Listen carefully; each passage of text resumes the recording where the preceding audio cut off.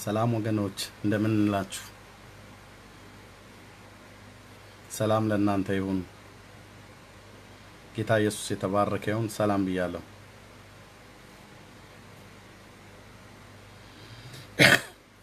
ጌታን እጅግ አድርገን እናመሰግናለን። በራእይ መጽሐፍ ምዕራፍ 12 ላይ ያለውን ክፍል እናያለን። ጌታ ቢፈቀድና በሕይወት ብንኖር ከዚህ በፊት ደጋግሜ ድምፄ ይሰማል አይደል? ድምፄ ይሰማል? የገባችሁ ቶሎ ንገሩኝ።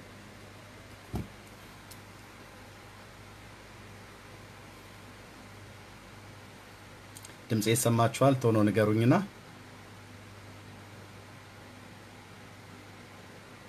እግዚአብሔር አምላክ የተባረከ። እሺ thank you ኤልሳቤጥዬ ተባረኪ። በራእይ መጽሐፍ ምዕራፍ 12 ላይ ከዚህ በፊት በቀጠሮ ተናግሬ የነበረውን ከዚህ በኋላ ጌታ ቢፈቅድ የተወሰኑ ሳምንታት ወይ ደግሞ በሳምንታት ብቻ ሳይሆን ወይ አንድ በአንድ ዙር ወይ በሁለት ዙር ወይ በሶስት ዙር እናየዋለን። ምናልባት በምን ያህል ጊዜ እንደሚሆን ደቂቃውን እንዳላስረዝም ወይ ሰዓቱን እንዳላስረዝም ብዬ ሰጋለሁ። ሁለት ሰዓት ምናምን ነገር ያህል አልወስድም። አጠር አጠር አድርጌ ያ ክፍል ስለማን ነው የሚናገረው ብሎ የሚለውን ራእይ መጽሐፍ ምዕራፍ 12ን እንደ ገባኝ እንደ እግዚአብሔር ቃል በሱ ላይ ይናገራለሁ። ጌታ ኢየሱስ ዘመናችሁን ይባርክ። ምናልባት ቶሎ የሚገቡ ሰዎች ካሉ share አድርጓቸውና የተደረብኩት ሰው የለም አይደል? የተደረብኩት ሰው የለም።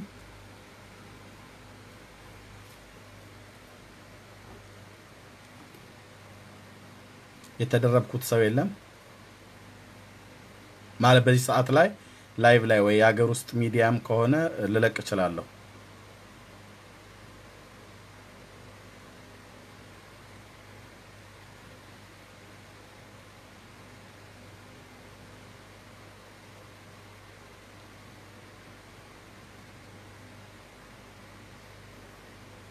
የለም። okay thank you።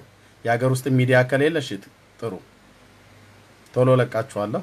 እግዚአብሔር አምላክ ይረዳኛል። ሳምንታት ብቻ ሳይሆን ወይ አንድ ጌታ ይባረክ። በራእይ መጽሐፍ ምዕራፍ 12 ላይ ያለችዋ ሴት ማን ናት? እሱን እናያለን ከኔ ጋር። እግዚአብሔር አምላክ ይረዳናል። ጌታ መንፈስ ቅዱስ እንዲያስተምረን አጭር ጸሎት ጸልየን ነው የምንቀጥለው። እሺ thank you ኤልሳዬ ተባረኪ። ጌታን ለዘላለም ስሙ ይባረክ። እንቀጥላለን ይህን ክፍል ሰው እስኪገባ ድረስ አልጠብቅም። በገባው ሰው እናንተው ትበቃላችሁ። ጌታ ለዘላለም ስሙ ይባረክ። ከቻላችሁ share አድርጉት። በተለይ ለአዳዲስ ሰዎች share ብታደርጉት በጣም ደስ ይለኛል። አማኞቹን ተዋቸውና ለአዳዲስ ሰዎች share የምታደርጉ ሰዎች ለአዳዲስ ሰዎች share ብታደርጉ፣ በተለይ ይሄ ክፍል ለማርያም ነው የሚናገረው ብለው የሚሉ በነ መምሬ ሽርሽር ትምህርት አይምሯቸው ለተፈወዘ ለነሱ ሰዎች share ብታደርጉ ደስ ይለኛል። okay ጥሩ ነው። ውብ ነኝ ውብ ድንግል ማርያም ከሆነች እናያለን። እኛ ጸብ የለን ከድንግል ማርያም ጋር። የጌታ እናት ቅድስት ድንግል ማርያም ከሆነች ምን ተዳችን? ግን መሆኗና አለመሆኗን እናያለን። okay እሷስ ቅድስት ድንግል ማርያም ከሆነች ዘንዶስ ማን ነው? ዘንዶ ፕሮቴስታንቶች ናቸው ብሎናል ዘበነ። መናፍቃን ናቸው ብሏል። እሱም ብቻ ሳይሆን ሌሎችም ሁሉ ሳይቀር መናፍቃን እናንተ ናችሁ ስድስት ስልሳ ስድስት እመቤታችንን የምታሳድዱ ብለውናል። እውነት ነው ወይ? እሺ thank you ውብ ነኝ ውብ ጥሩ ነው። እግዚአብሔር አምላክ የተባረከ ይሁን። ልቀጥል አሁን ልቀጥል ወይስ ልጠብቃችሁ? እናንተ እንደምጠብቀው ቀጥል ካላችሁ ይቀጥላለሁ።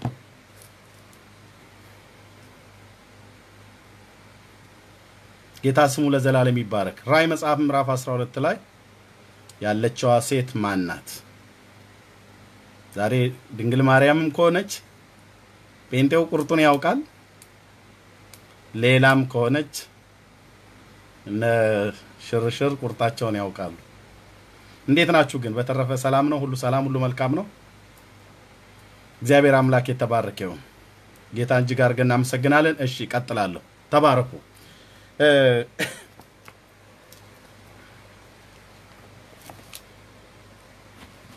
ክፍሉን አንብቤ ነው አስራ ሰባቱንም ቁጥር ዛሬ አነባዋለሁ። እሺ አነባውና 17ቱንም ቁጥር አንብቤው ከዛ ጸልየን እንጀምራለን። እንደዚህ ይላል። የምታውቁት ክፍል ነው። ይህን ማንም ያላነበበ የለም። መጽሐፍ ቅዱስ መቼም የማያነብ ሰው ካልሆነ በስተቀር ይህን ክፍል መጽሐፍ ቅዱስ ላይ ይህንን ክፍል ኦርቶዶክሱም ፕሮቴስታንቱም ሁሉም ያነበዋል። በተለይ ይህኛው ክፍል ማለት ነው መከራከሪያ ዋነኛ መጨቃጨቂያ ክፍል ስለሆነ በጣም ብዙ ሰው ያነበዋል። ስለዚህ እዚህ ውስጥም ያላችሁ ሰዎች ሁላችሁም እንዳነበባችሁት እርግጠኛ ነኝ። ድጋሚም ደግሞ እናነባውና አጭር ጸሎት ጸልየ እንጨርሳል ማለት ነው። እንቀጥላለን። ጌታ ለዘላለም ስሙ ይባረክ። ታላቅ ምልክት በሰማይ ታየ። ፀሐይን ተጎናጽፋ ጨረቃ ከእግሮቿ በታች ያላት በራሷም ላይ አስራ ሁለት የከዋክብት አክሊል የሆነላት አንዲት ሴት ነበረች። እርሷም ጸንሳ ነበር፣ ምጥም ተይዛ ልትወልድ ተጨንቃ ጮኸች። ሌላም ምልክት በሰማይ ታየ። እነሆ ታላቅ ቀይ ዘንዶ ሰባት ራሶችና አስር ቀንዶች ነበሩት፣ በራሶቹም ላይ ሰባት ዘውዶች ነበሩት። ጅራቱም የሰማይን ከዋክብት ሲሶ እየሳበ ወደ ምድር ጣላቸው። ዘንዶም ሴቲቱን በወለደች ጊዜ ሕፃኗ እንዲበላ ልትወልድ ባላት ሴት ፊት ቆመ። አሕዛብን ሁሉ በብረት በትር ይገዛቸው ዘንድ ያለውን ወንድ ልጅን ወለደች። ወደ ልጁም ልጇም ወደ እግዚአብሔርና ወደ ዙፋኑ ተነጠቀ። ሴቲቱም ሺህ ከሁለት መቶ ስድሳ ቀን በዚያ እንዲመግቧት እግዚአብሔር በእግዚአብሔር ተዘጋጅቶላት ወደ ነበረው ስፍራ ወደ በረሃ ሸሸች። በሰማይም ሰልፍ ሆነ። ሚካኤልና መላእክቱም ዘንዶውን ተዋጉት። ዘንዶውም ከመላእክቱ ጋር ተዋጋ፣ አልቻላቸውም። ከዚያም ወዲያ በሰማይ ስፍራ አልተገኘላቸውም። ዓለሙን ሁሉ የሚያስተው ዲያብሎስ እና ሰይጣን የሚባለው ታላቁ ዘንዶ እርሱም የቀደመው እባብ ተጣለ፣ ወደ ምድርም ተጣለ።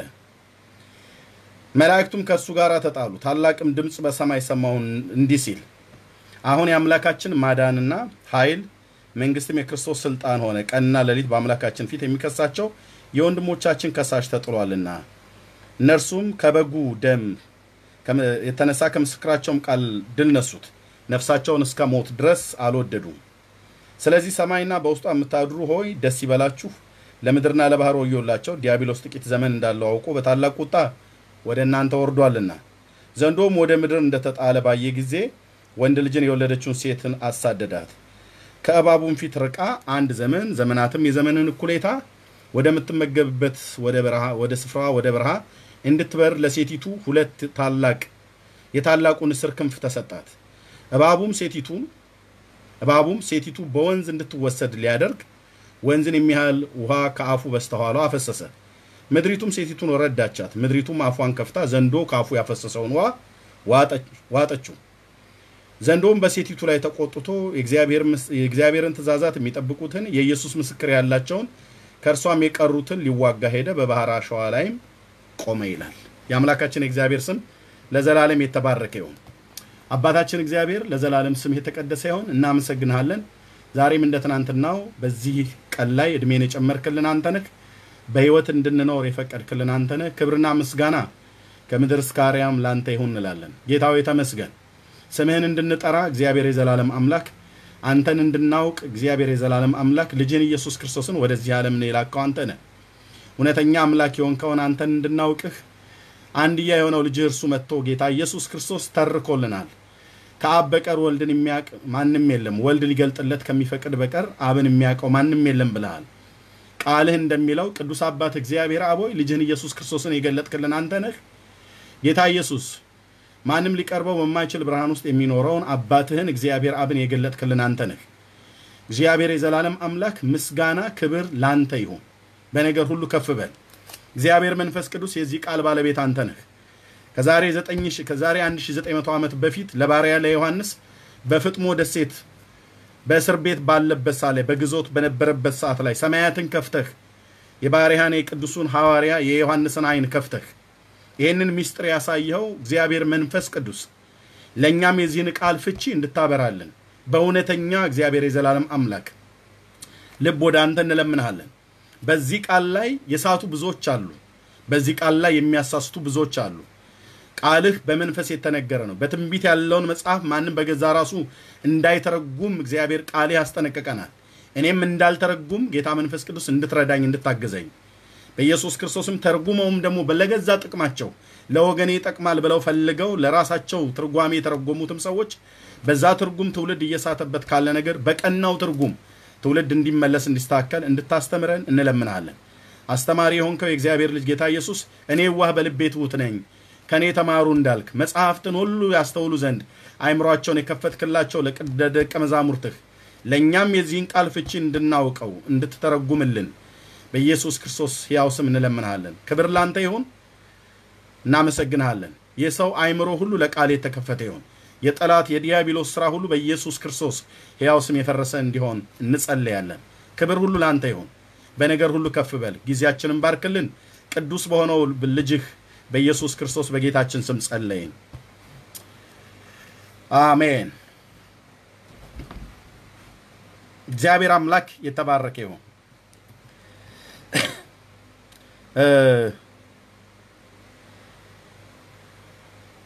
ጌታን እጅግ አድርገን እናመሰግናለን። ምናልባት ይሰማል አይደል? ድምፄ ለሁላችሁም ይሰማል አይደል? ድምፄ ለሁላችሁም። ጌታ ይባረክ። ራእይ መጽሐፍ ምዕራፍ 12 ላይ ያለችዋ ሴት ቅድስት ድንግል ማርያም ናት? እስራኤል ነች? ኢትዮጵያ ናት? ጸዳለ ነች ወይስ ትዕግስት? መጽሐፍ ቅዱሱ ምንድን ነው ብሎ የሚለው ይህን ክፍል ለማየት በጣም ጥንቃቄ የሚያስፈልግ ነው። የእግዚአብሔርን ቃል የትኛውንም ይህም ብቻ ሳይሆን የትኛውንም መጽሐፍት የእግዚአብሔርን ቃል በጥንቃቄ እንድናይ የእግዚአብሔር ቃል ራሱ ያስተምረናል። በመጽሐፍት ያለው ቃል የትንቢት ቃል ስለሆነ ማንም ለገዛ ራሱ እንዳይተረጉም ጥንቃቄ እንድናደርግ የእግዚአብሔር ቃል በጽኑ ያሳስበናል። ምክንያቱም ስንተረጉም ትውልድን እኛም ራሳችን ወይ እንጠፋለን ትውልድንም እናጠፋለን። ጳውሎስ ለጢሞቴዎስ እንዳለው ለራስና ለትምህርት ተጠንቀቅ፣ ይህንን ብታደርግ የሚሰሙ አንተን የሚሰሙህንም ታድናለህ፣ ራስንም ታድናለህ፣ የሚሰሙህንም ታድናለህ ነው ብሎ ያለው እና ስለዚህ ጢሞቴዎስ ባይጠነቀቅ ለሚያስተምረው ትምህርት ራሱም ይጠፋል፣ ትውልድንም ያጠፋል። ኤርሚያስ ለማስተምረው ትምህርት ባልጠነቀቅ ማንም በፕሮቴስታንቱ አቅጣጫ በሉት፣ በካቶሊኩም አቅጣጫ በሉት፣ በኦርቶዶክሱም አቅጣጫ በሉት፣ አይሁድም ይሁን ግሪካዊም ይሁን ክርስቲያን ነኝ ብሎ የሚል የእግዚአብሔርን ቃል ሲያስተምር ወይ ደግሞ አይሁድ ነኝ ብሎ የሚል ይሁዲ ነኝ ብሎ የሚል የእግዚአብሔርን ቃል ሲያስተምር ከተነገረለት አውድ አውጥቶ ከተነገረለት መንፈስ አውጥቶ ቃለ እግዚአብሔርን ይሄ እንደዚህ ሊሆን ነው ብሎ ትርጓሜ ሰጥቶ ያልሆነ ትርጓሜ ማስተማር ማለት በጣም አደገኛ፣ መጨረሻውም በእግዚአብሔር ፍርድ ስር መውደቅ ነው። ስለዚህ በዚህ ክፍል ላይ ያልተጨቃጨቀ ያልተጣላ ሰው የለም። ለምንድን ነው የሚጣላው? ለምንድን ነው የሚጨቃጨቀው? አንዳንዱ ቁንጽል እውቀት ይዞ ነው የሚጨቃጨቀው። አሁን እዚህ ክፍል ላይ ሴቲቱን ብቻ አይደለም የምንተረጉመው፣ ዘንዶውን እንተረጉማለን። ዘንዶ ማን ነው? ወገኖቻችን እንዳሉት ፕሮቴስታንቶች ነን ዘንዶዎቹ፣ አውሬዎቹ እኛ ነን። የእኛ አውሬ ከሆንን ቀንዱስ ምንድን ነው? አስር ቀንዶች ሰባት ራሶች አሉት ብሎ ያለው ምክንያቱም literally እነዘበነ ሁሉ እንደዛ ብለው ሲያስተምሩ ስለነበረ ነው። አሁን ብዙዎቹም ከዛ ተኮርጀው ሰምተው ነው። please ይህንን ነገር ለአዳዲስ ሰዎች እስቲ share አድርጉልኝ። እስከ ዛሬ ብዙ ለምኛችኋለሁ። ይህንን እነሱ ይስሙት። አሁን እዚህ ጋር ብዙዎቻችሁ የማያችሁ በጌታ የሆናችሁ ሰዎች ናችሁ። እኔ በጌታ የሆኑትን ሰዎች አልፈልግም። አሁን ለዛሬ ይቅርታ አድርጉልኝ። አብዛኛው ህዝብ በጌታ የሆነ ሰውን አሁን እዚህ የማየው ለአዳዲስ ሰዎች እስቲ share አድርጉት please። አርዕስቱን የግድ ሰው እንዲገባ ብዬ የሰው ስም መጻፍ የለብኝም። እንደዛ አልፈልግም። እስቲ ለአዳዲስ ሰዎች ይጣሏችሁ፣ block ያርጉሽ፣ block ያድርጓችሁ ማለት share በማድረጋችሁ block ያርጓችሁ፣ ሁለተኛም አታድርጉም ብለው ይበሏችሁ። ይጣሏችሁም እንኳን ይጣሏችሁ። ይህን ክፍል እስቲ share አድርጉት። እግዚአብሔር በረዳይ መጠን ተዘጋጅቼበታለሁ። ቀጥታ ሴቲቱንም ዘንዶውንም አስሩ ቀንዶችንም ሰባት ራሶቹንም ሕፃኑንም እና የንስር ክንፉም እንድትበር የተሰጣት በቅዱሳን መላእክትና በርኩሳን መላእክት መካከልም የሚደረገውን ጦርነት ይህን ሁሉ ነው የምናገረው እና ምናልባት ዛሬ ብቻ ላይሆን ይችላል። share ተባረኩ። ጌታ ኢየሱስ ይባርካችሁ። ምክንያቱም ሰምተው የሚድኑ ሰዎች ስላሉ ነው። ጌታን የሚቀበሉ ሰዎች ስላሉ ነው። ከተጣመመ ትርጉም ወጥተው እውነቱን አውቀውት ነው ወይ ብለው ምናልባት እዚህ ውስጥ የገባችሁ አዳዲስ ሰዎች ካላችሁ መጽሐፍ ቅዱስ ሞባይላችሁ ላይ ካለ በዚህ ሰዓት የምችሉ ሰዎች መጽሐፍ ቅዱሳችሁን ራእይ መጽሐፍ ምዕራፍ 12ን አውጥታችሁ ብትከታተሉኝ ደስ ይለኛል። በተለይ ኦርቶዶክሳውያን ወገኖች Thank you እህቴ ሀና፣ ጌታ ኢየሱስ ይባርክሽ። ተባረኩ። ሌሎቻችሁም ቢሆኑ share ስላደረጋችሁት ማለት ነው። ማለት እንዲሰሙ ነው ማለት እንዲሰሙና ሰው እንዲድን እንዲተርፍ በማለት ነው። ጌታ ለዘላለም ስሙ ይባረክ። እሽ ፍርዬ ተባረኩ።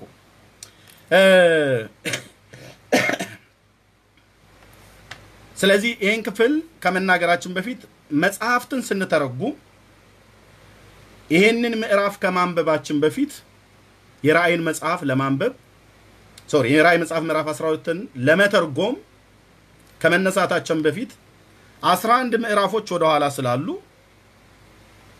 11ዱ ምዕራፎችን መነበብ አለባቸው። ወደፊትም እንደገና ደግሞ ስምንት ምዕራፎች ማን ነው አስር ምዕራፎች ስላሉ 22 ምዕራፍ ስለሆነ አስሩ ምዕራፍ ሊነበብ ይችል ይሆናል ወደፊትም ያለው ማለት ነው።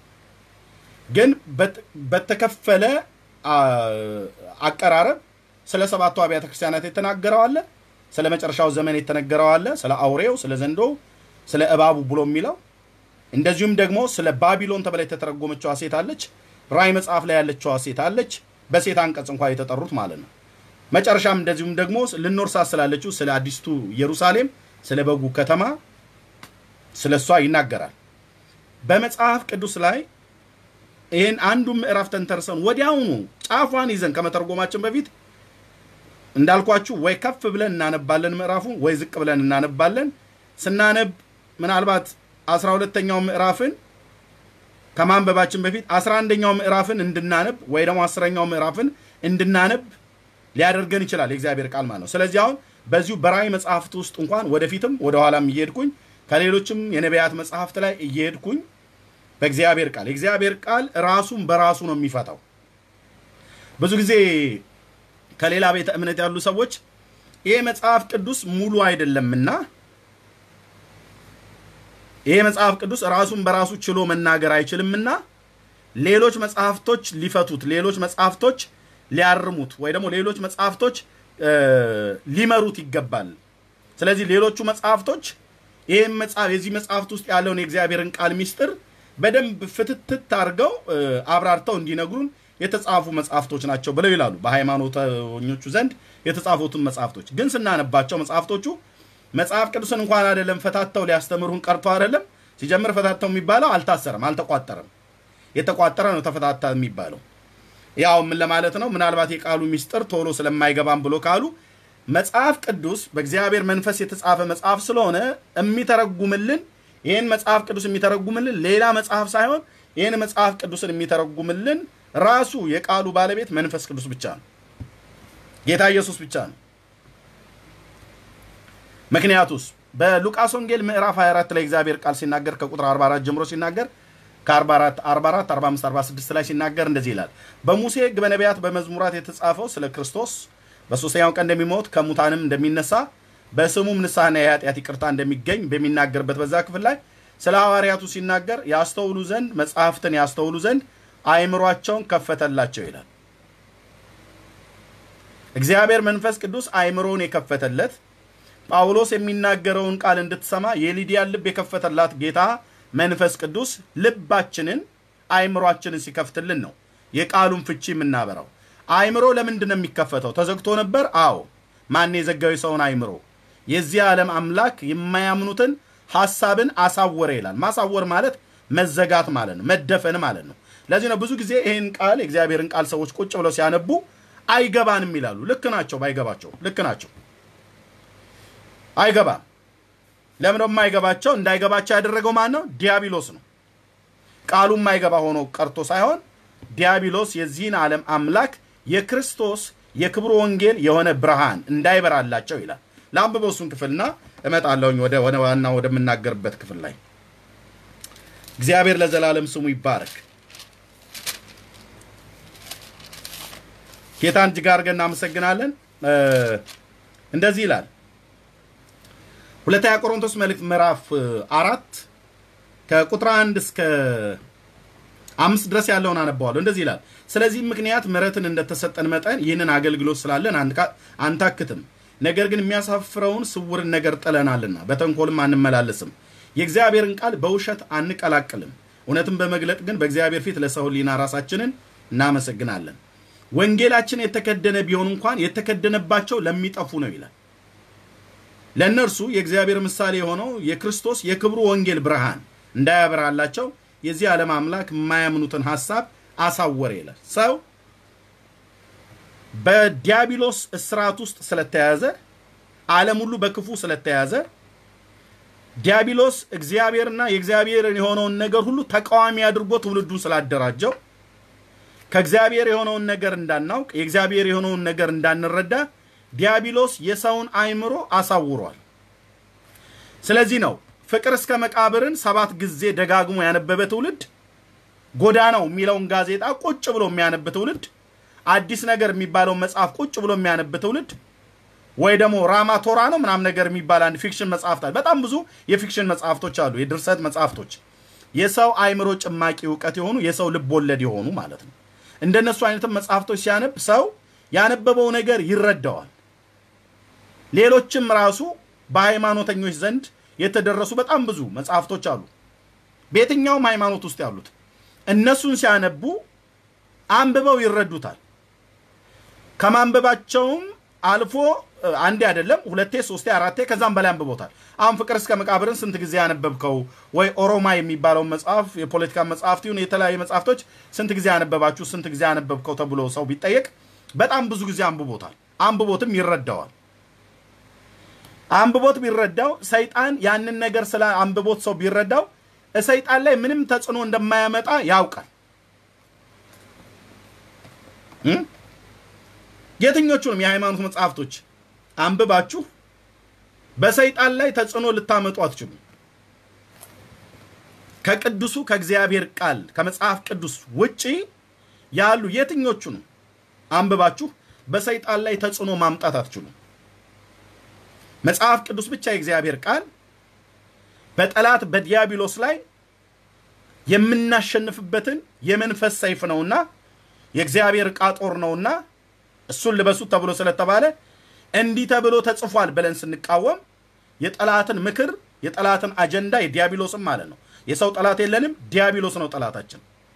ስለዚህ እሱን እናፈርሳለን። ጳውሎስ ስለዚህ ነው ውጊያችን ከስጋና ከደም ጋር አይደለም ብሎ ያለው ማለት ነው። እንደዚሁም በእግዚአብሔር እውቀት ላይ የሚነሳውን የሰውን ሀሳብ እናፈርሳለን ያለው የእግዚአብሔር እውቀት የሆነ የእግዚአብሔር ቃል እና ሰዋዊ የሆኑ መንፈስ ቅዱስ የሌለበት ብናነባቸው ብንደግማቸው በየዘመናችን ሁሉ ብናነብንባቸው ብንውል ሰይጣን ድንግጥ የማይላቸው እነሱንም አንብበን ሰይጣን ድንግጥ የማይልበት ብዙ መጽሐፍቶች አሉ።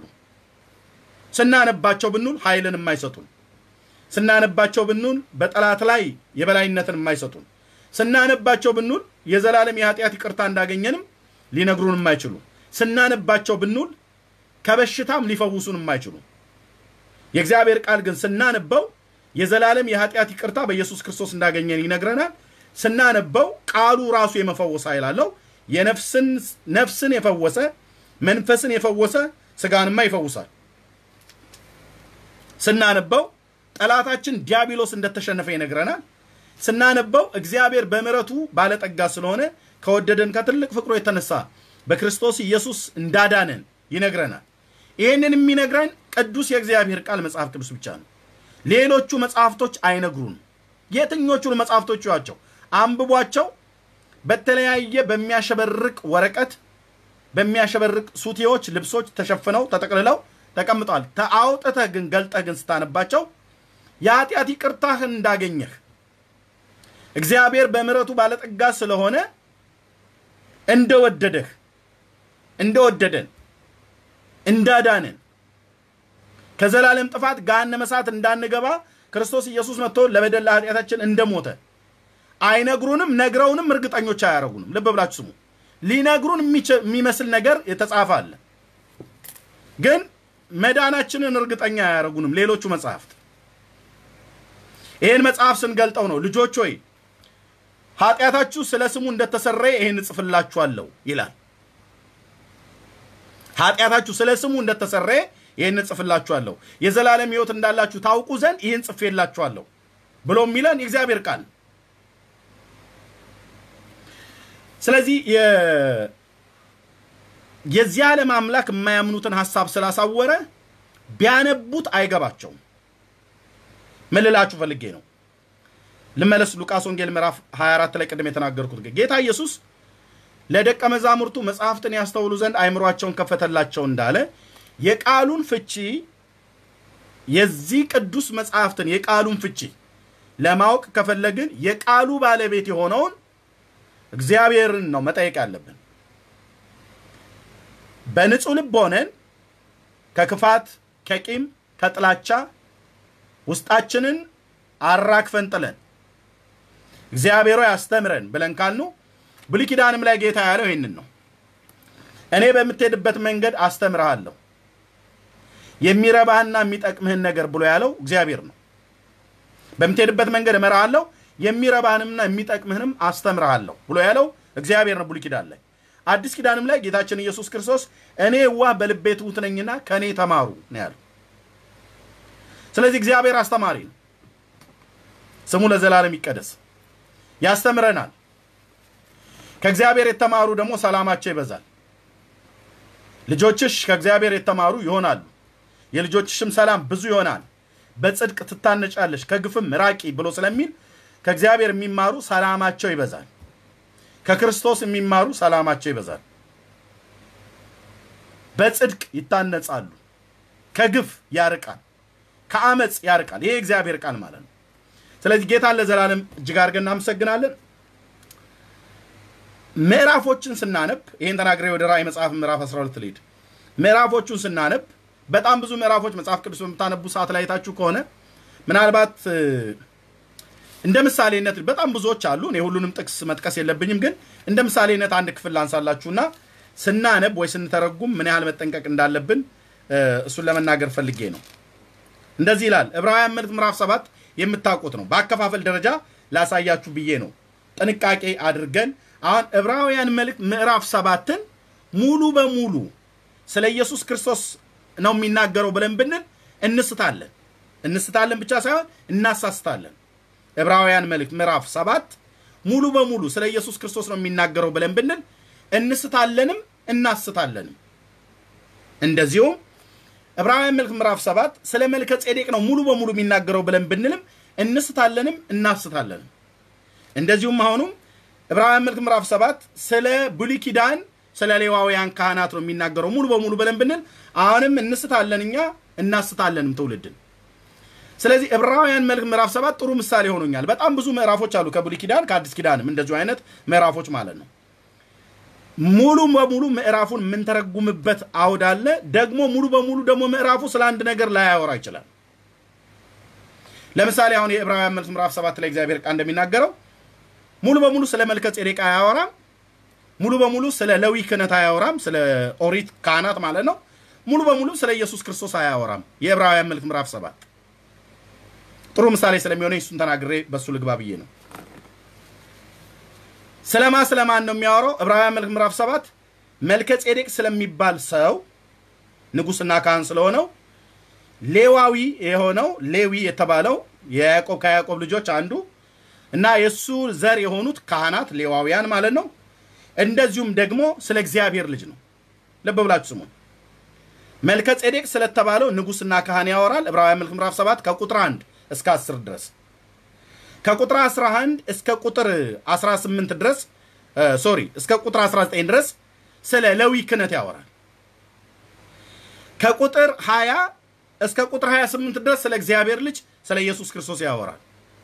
ሙሉ በሙሉ ምዕራፉን ጭምድድ አድርገን ስለ መልከ ጼዴቅ ነው የሚያወራው ብለን ብንል ሙሉ በሙሉ ትርጉሙ ይምታታብናል። ስለ አሮን ክህነት ነው የሚያወራው ብለን ብንል፣ ስለ ሌዋውያን ክህነት ነው የምናወራው ብለን ብንል ሙሉ በሙሉ ይምታታብናል። ስለ መልከ ጼዴቅ ነው የሚያወራው ብለን ብንል ሙሉ በሙሉ ይምታታብናል። ስለዚህ ከምዕራፍ ሰባት ከቁጥር 1 እስከ 10 መልከ ጼዴቅ ከቁጥር 11 እስከ ቁጥር 19 የሌዋውያን ካህናት ከቁጥር 20 እስከ ቁጥር 28 ስለ እግዚአብሔር ልጅ ስለ ኢየሱስ ክርስቶስ ነው የሚናገረው። በዘመን ባስቀምጠው በዘመን ባስቀምጠው በጣም ነው የገረመኝ እኔ ራሱ እንደዛ ሳየው በዘመን ባስቀምጠው መልከ ጼዴቅ የተባለው ሰው የነበረው ዘመነ አበው አብርሃም በነበረበት ዘመን ነው። በሲና ህግ አልተሰጠም በዚያ ዘመን። አብርሃም ገና ከኡር ከለዳውያን ምድር መጥቶ ወደ ከነአን ምድር መጥቶ በተቀመጠበት በከነአን ምድር ላይ በዚያ በነበረበት ሰዓት በኦሪት ዘፍጥረት መጽሐፍ ምዕራፍ 14 ላይ እግዚአብሔር ቃል እንደሚናገረው የጎዶሎ ጎሞር ሰዎች የሰዶምና አካባቢዋን መጥተው ወቅተው አምስቱ ነገስታት በሰዶም ይኖር የነበረውን የአብርሃምን ወንድም የወንድሙ ልጅ ነው የናኮር ልጅ ማን የሃራን ልጅ የሃራን ልጅ ሎጥ እሱም ማርከውት በወሰዱ ሰዓት ላይ እንደምታውቁት እሱን ለማስመለስ አባታችን አብርሃም ከቤቱ የተወለዱ 300 ባሪያዎችን ይዞ ወረደ።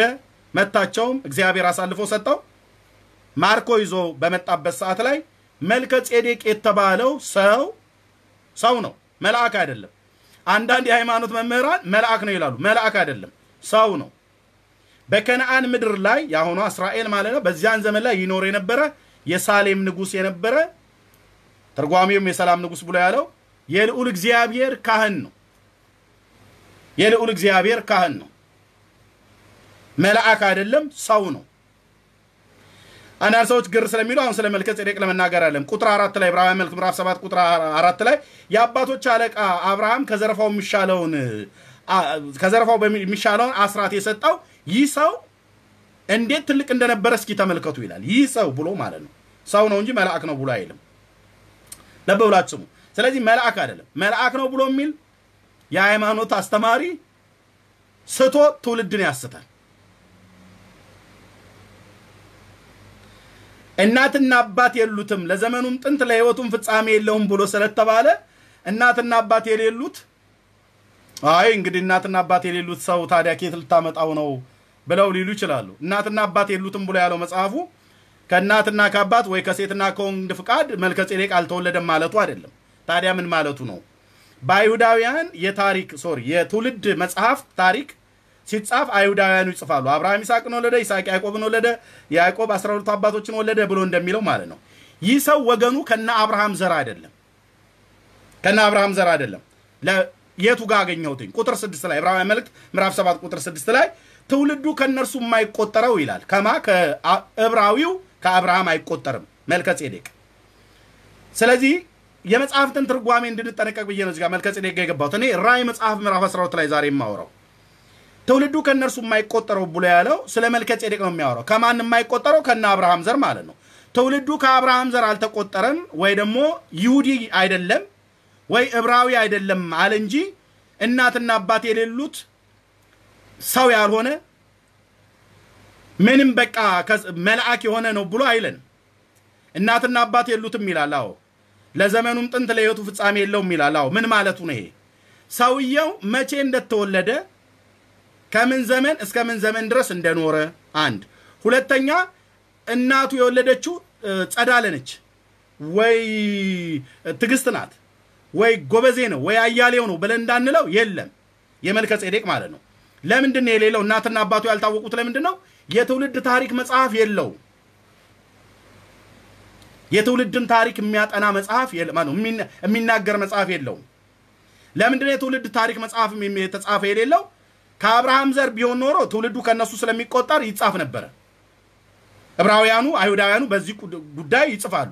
እንትና እንትናን ወለደ፣ እንትና እንትናን ወለደ ብለው ማለት ነው። ይሄ ሰው ግን ትውልዱ ከእነርሱ ስለማይቆጠር እናትና አባቱ ማን እንደሆኑ አይታወቅም። ግን ከእናትና ከአባት ተወልዷል።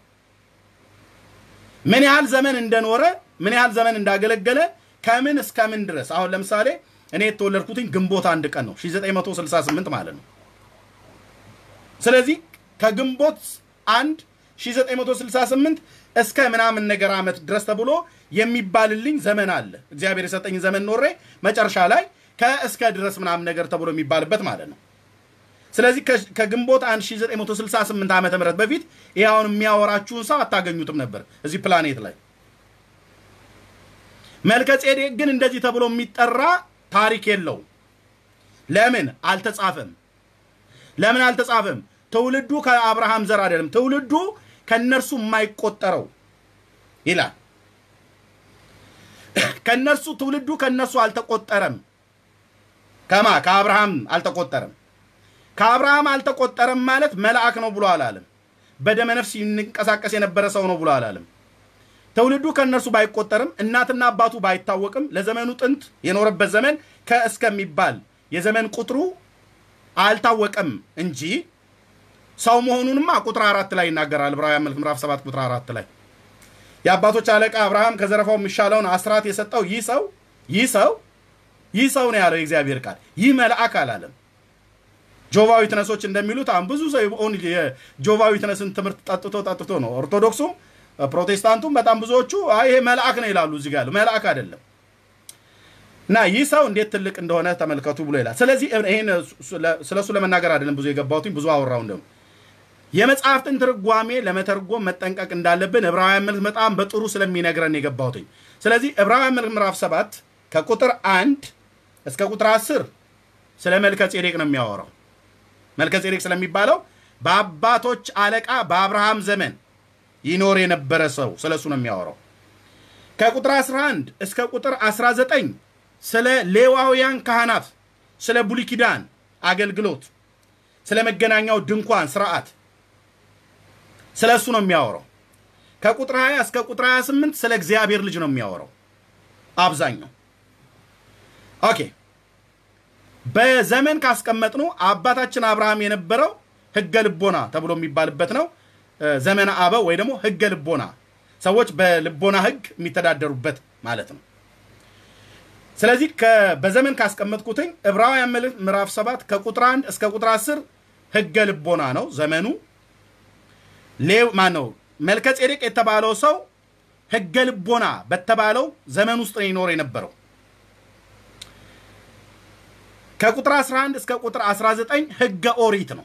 የኦሪት አገልግሎት በሲና ተራራ እግዚአብሔር የሰጠው ማለት ነው።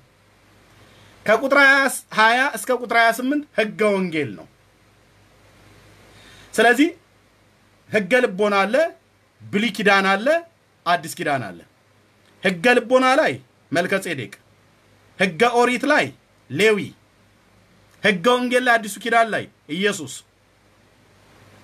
ስለዚህ ጭምድድ አድርገን ዕብራውያን መልእክት ምዕራፍ ሰባትን ስለ ኢየሱስ ነው የሚያወራው ብለን ብናስተምር መውጫ የለንም። አይ ስለ ሌዋዊ ክህነት ነው የሚያወራው ብለን ሙሉ በሙሉ ጨምድደን ብንተረጉም መውጫ የለንም። ማጠፊያው ይቸግረናል። ሙሉ በሙሉ ጨምድደን ስለ መልከ ጼዴቅ ነው የሚናገረው ብለን ካል እንስታለን፣ እናስታለን። ልክ እንደዚሁም ሌሎቹንም መጽሐፍቶች ስናነብ ምዕራፎቹ ላይ በጥንቃቄ ማየት አለብን። ራይ መጽሐፍ ወደዚህ ይህን እንደ ምሳሌ ከተናገርኩኝ ራይ መጽሐፍ ምዕራፍ 12 ስለማን ነው የሚናገረው? እንደ ድሮ በረጅም ሰዓት አሊዝም ሰዓቴን እንደሚገባ ማየት ያለብኝ ይመስለኛል። በጣም ኤርሚያስ እያስረዘም ካስቸግርሃል ብለውኛል። እንደ ሀብታም ፍታት የሀብታም ፍታት ትንሽ ረዘም ይላል ይላሉ። ለምደው ረዘም የሚለው የሚበላ ነገር ስላለ ነዋ። የዳዋ ፍታት ግን ከሆነ አጠር ነው የሚለው። ፈትቼ ፍታት የሚባለውን ነገር ያው ስለማቅ ማለት ነው። ስለዚህ እንደ ዳዋው ፍታት አጠር አረገዋለሁ ልፈልጌ ነው። ሰዓቱን ትንሽ ሰዓቱን ነው ያልኩት እንጂ ዝም ብዬ ለብ ለብ አረገዋለሁ ማለት አይደለም። ሰዓቱን ሰዓቱን እንደ ዳህ ፍታት አረገዋለሁ። ጌታ ይባረክ። ተመችቷችኋል? እግዚአብሔር ይመስገን። ታላቅ ምልክት ይላል። ልብ ብላችሁ ስሙ ኦርቶዶክሳውያን እዚህ ውስጥ ያላችሁ ይህን ቪዲዮም በኋላ ዩቲዩብ ላይ የምታዩት ዛሬ አልጨርሰውም ክፍሉን 17 ቁጥር ስለሆነ በጥንቃቄ ነው የምናየው። ታላቅ ምልክት በሰማይ ታየ ነው ብሎ የሚለው ምልክት ነው። ምልክት ነው የታየው። ይሰማሻል? ማዘንጊያሽ ምልክት ነው የታየው። ታላቅ ምልክት በሰማይ ታየ። ፀሐይን ተጎናጽፋ ጨረቃ ከእግሮቿ በታች ያላት በራሷም ላይ አስራ ሁለት የከዋክብት አክሊል የሆነላት አንዲት ሴት ነበረች ይላል። አንዲት ሴት ነበረች ነው ብሎ የሚጀምረው ዮሐንስ። እቺ ሴት በሴት አንቀጽ ስለተጠራች እንደ እመቤቴ ናታ፣ ወለላይቱ፣ አዳኝቱ፣ አዛኝቱ ብለን ወዲያው ብንተረጉም እንስታለን። ቁጥር አንድን አንብበሽ እመቤቴ ነች ብለሽ ብተረጉሚ አስራ ስድስት ቁጥር ገና ይጠብቅሻል ማለት ነው። መቀነትሽን የሚያስፈታ ወይ ደግሞ ቀበቶህን የሚያስፈታ በጣም ብዙ ጥያቄ አለ። Okay እች አስራ ሁለት የከዋክብት አክሊል የሆነላት ሴት ማን ናት? ከዋክብቶቹስ እነማን ናቸው? ይህንን ለመፍታት ይህን እግዚአብሔርን ቃል ለመፍታት ውዳሴ ማርያም ማምጣት የለብኝም። ታምረ ማርያም ማየት የለብኝም። ወይ አይሁዳውያን የጻፉት የሰዋዊ ትምህርት የተባለው ማለት ነው።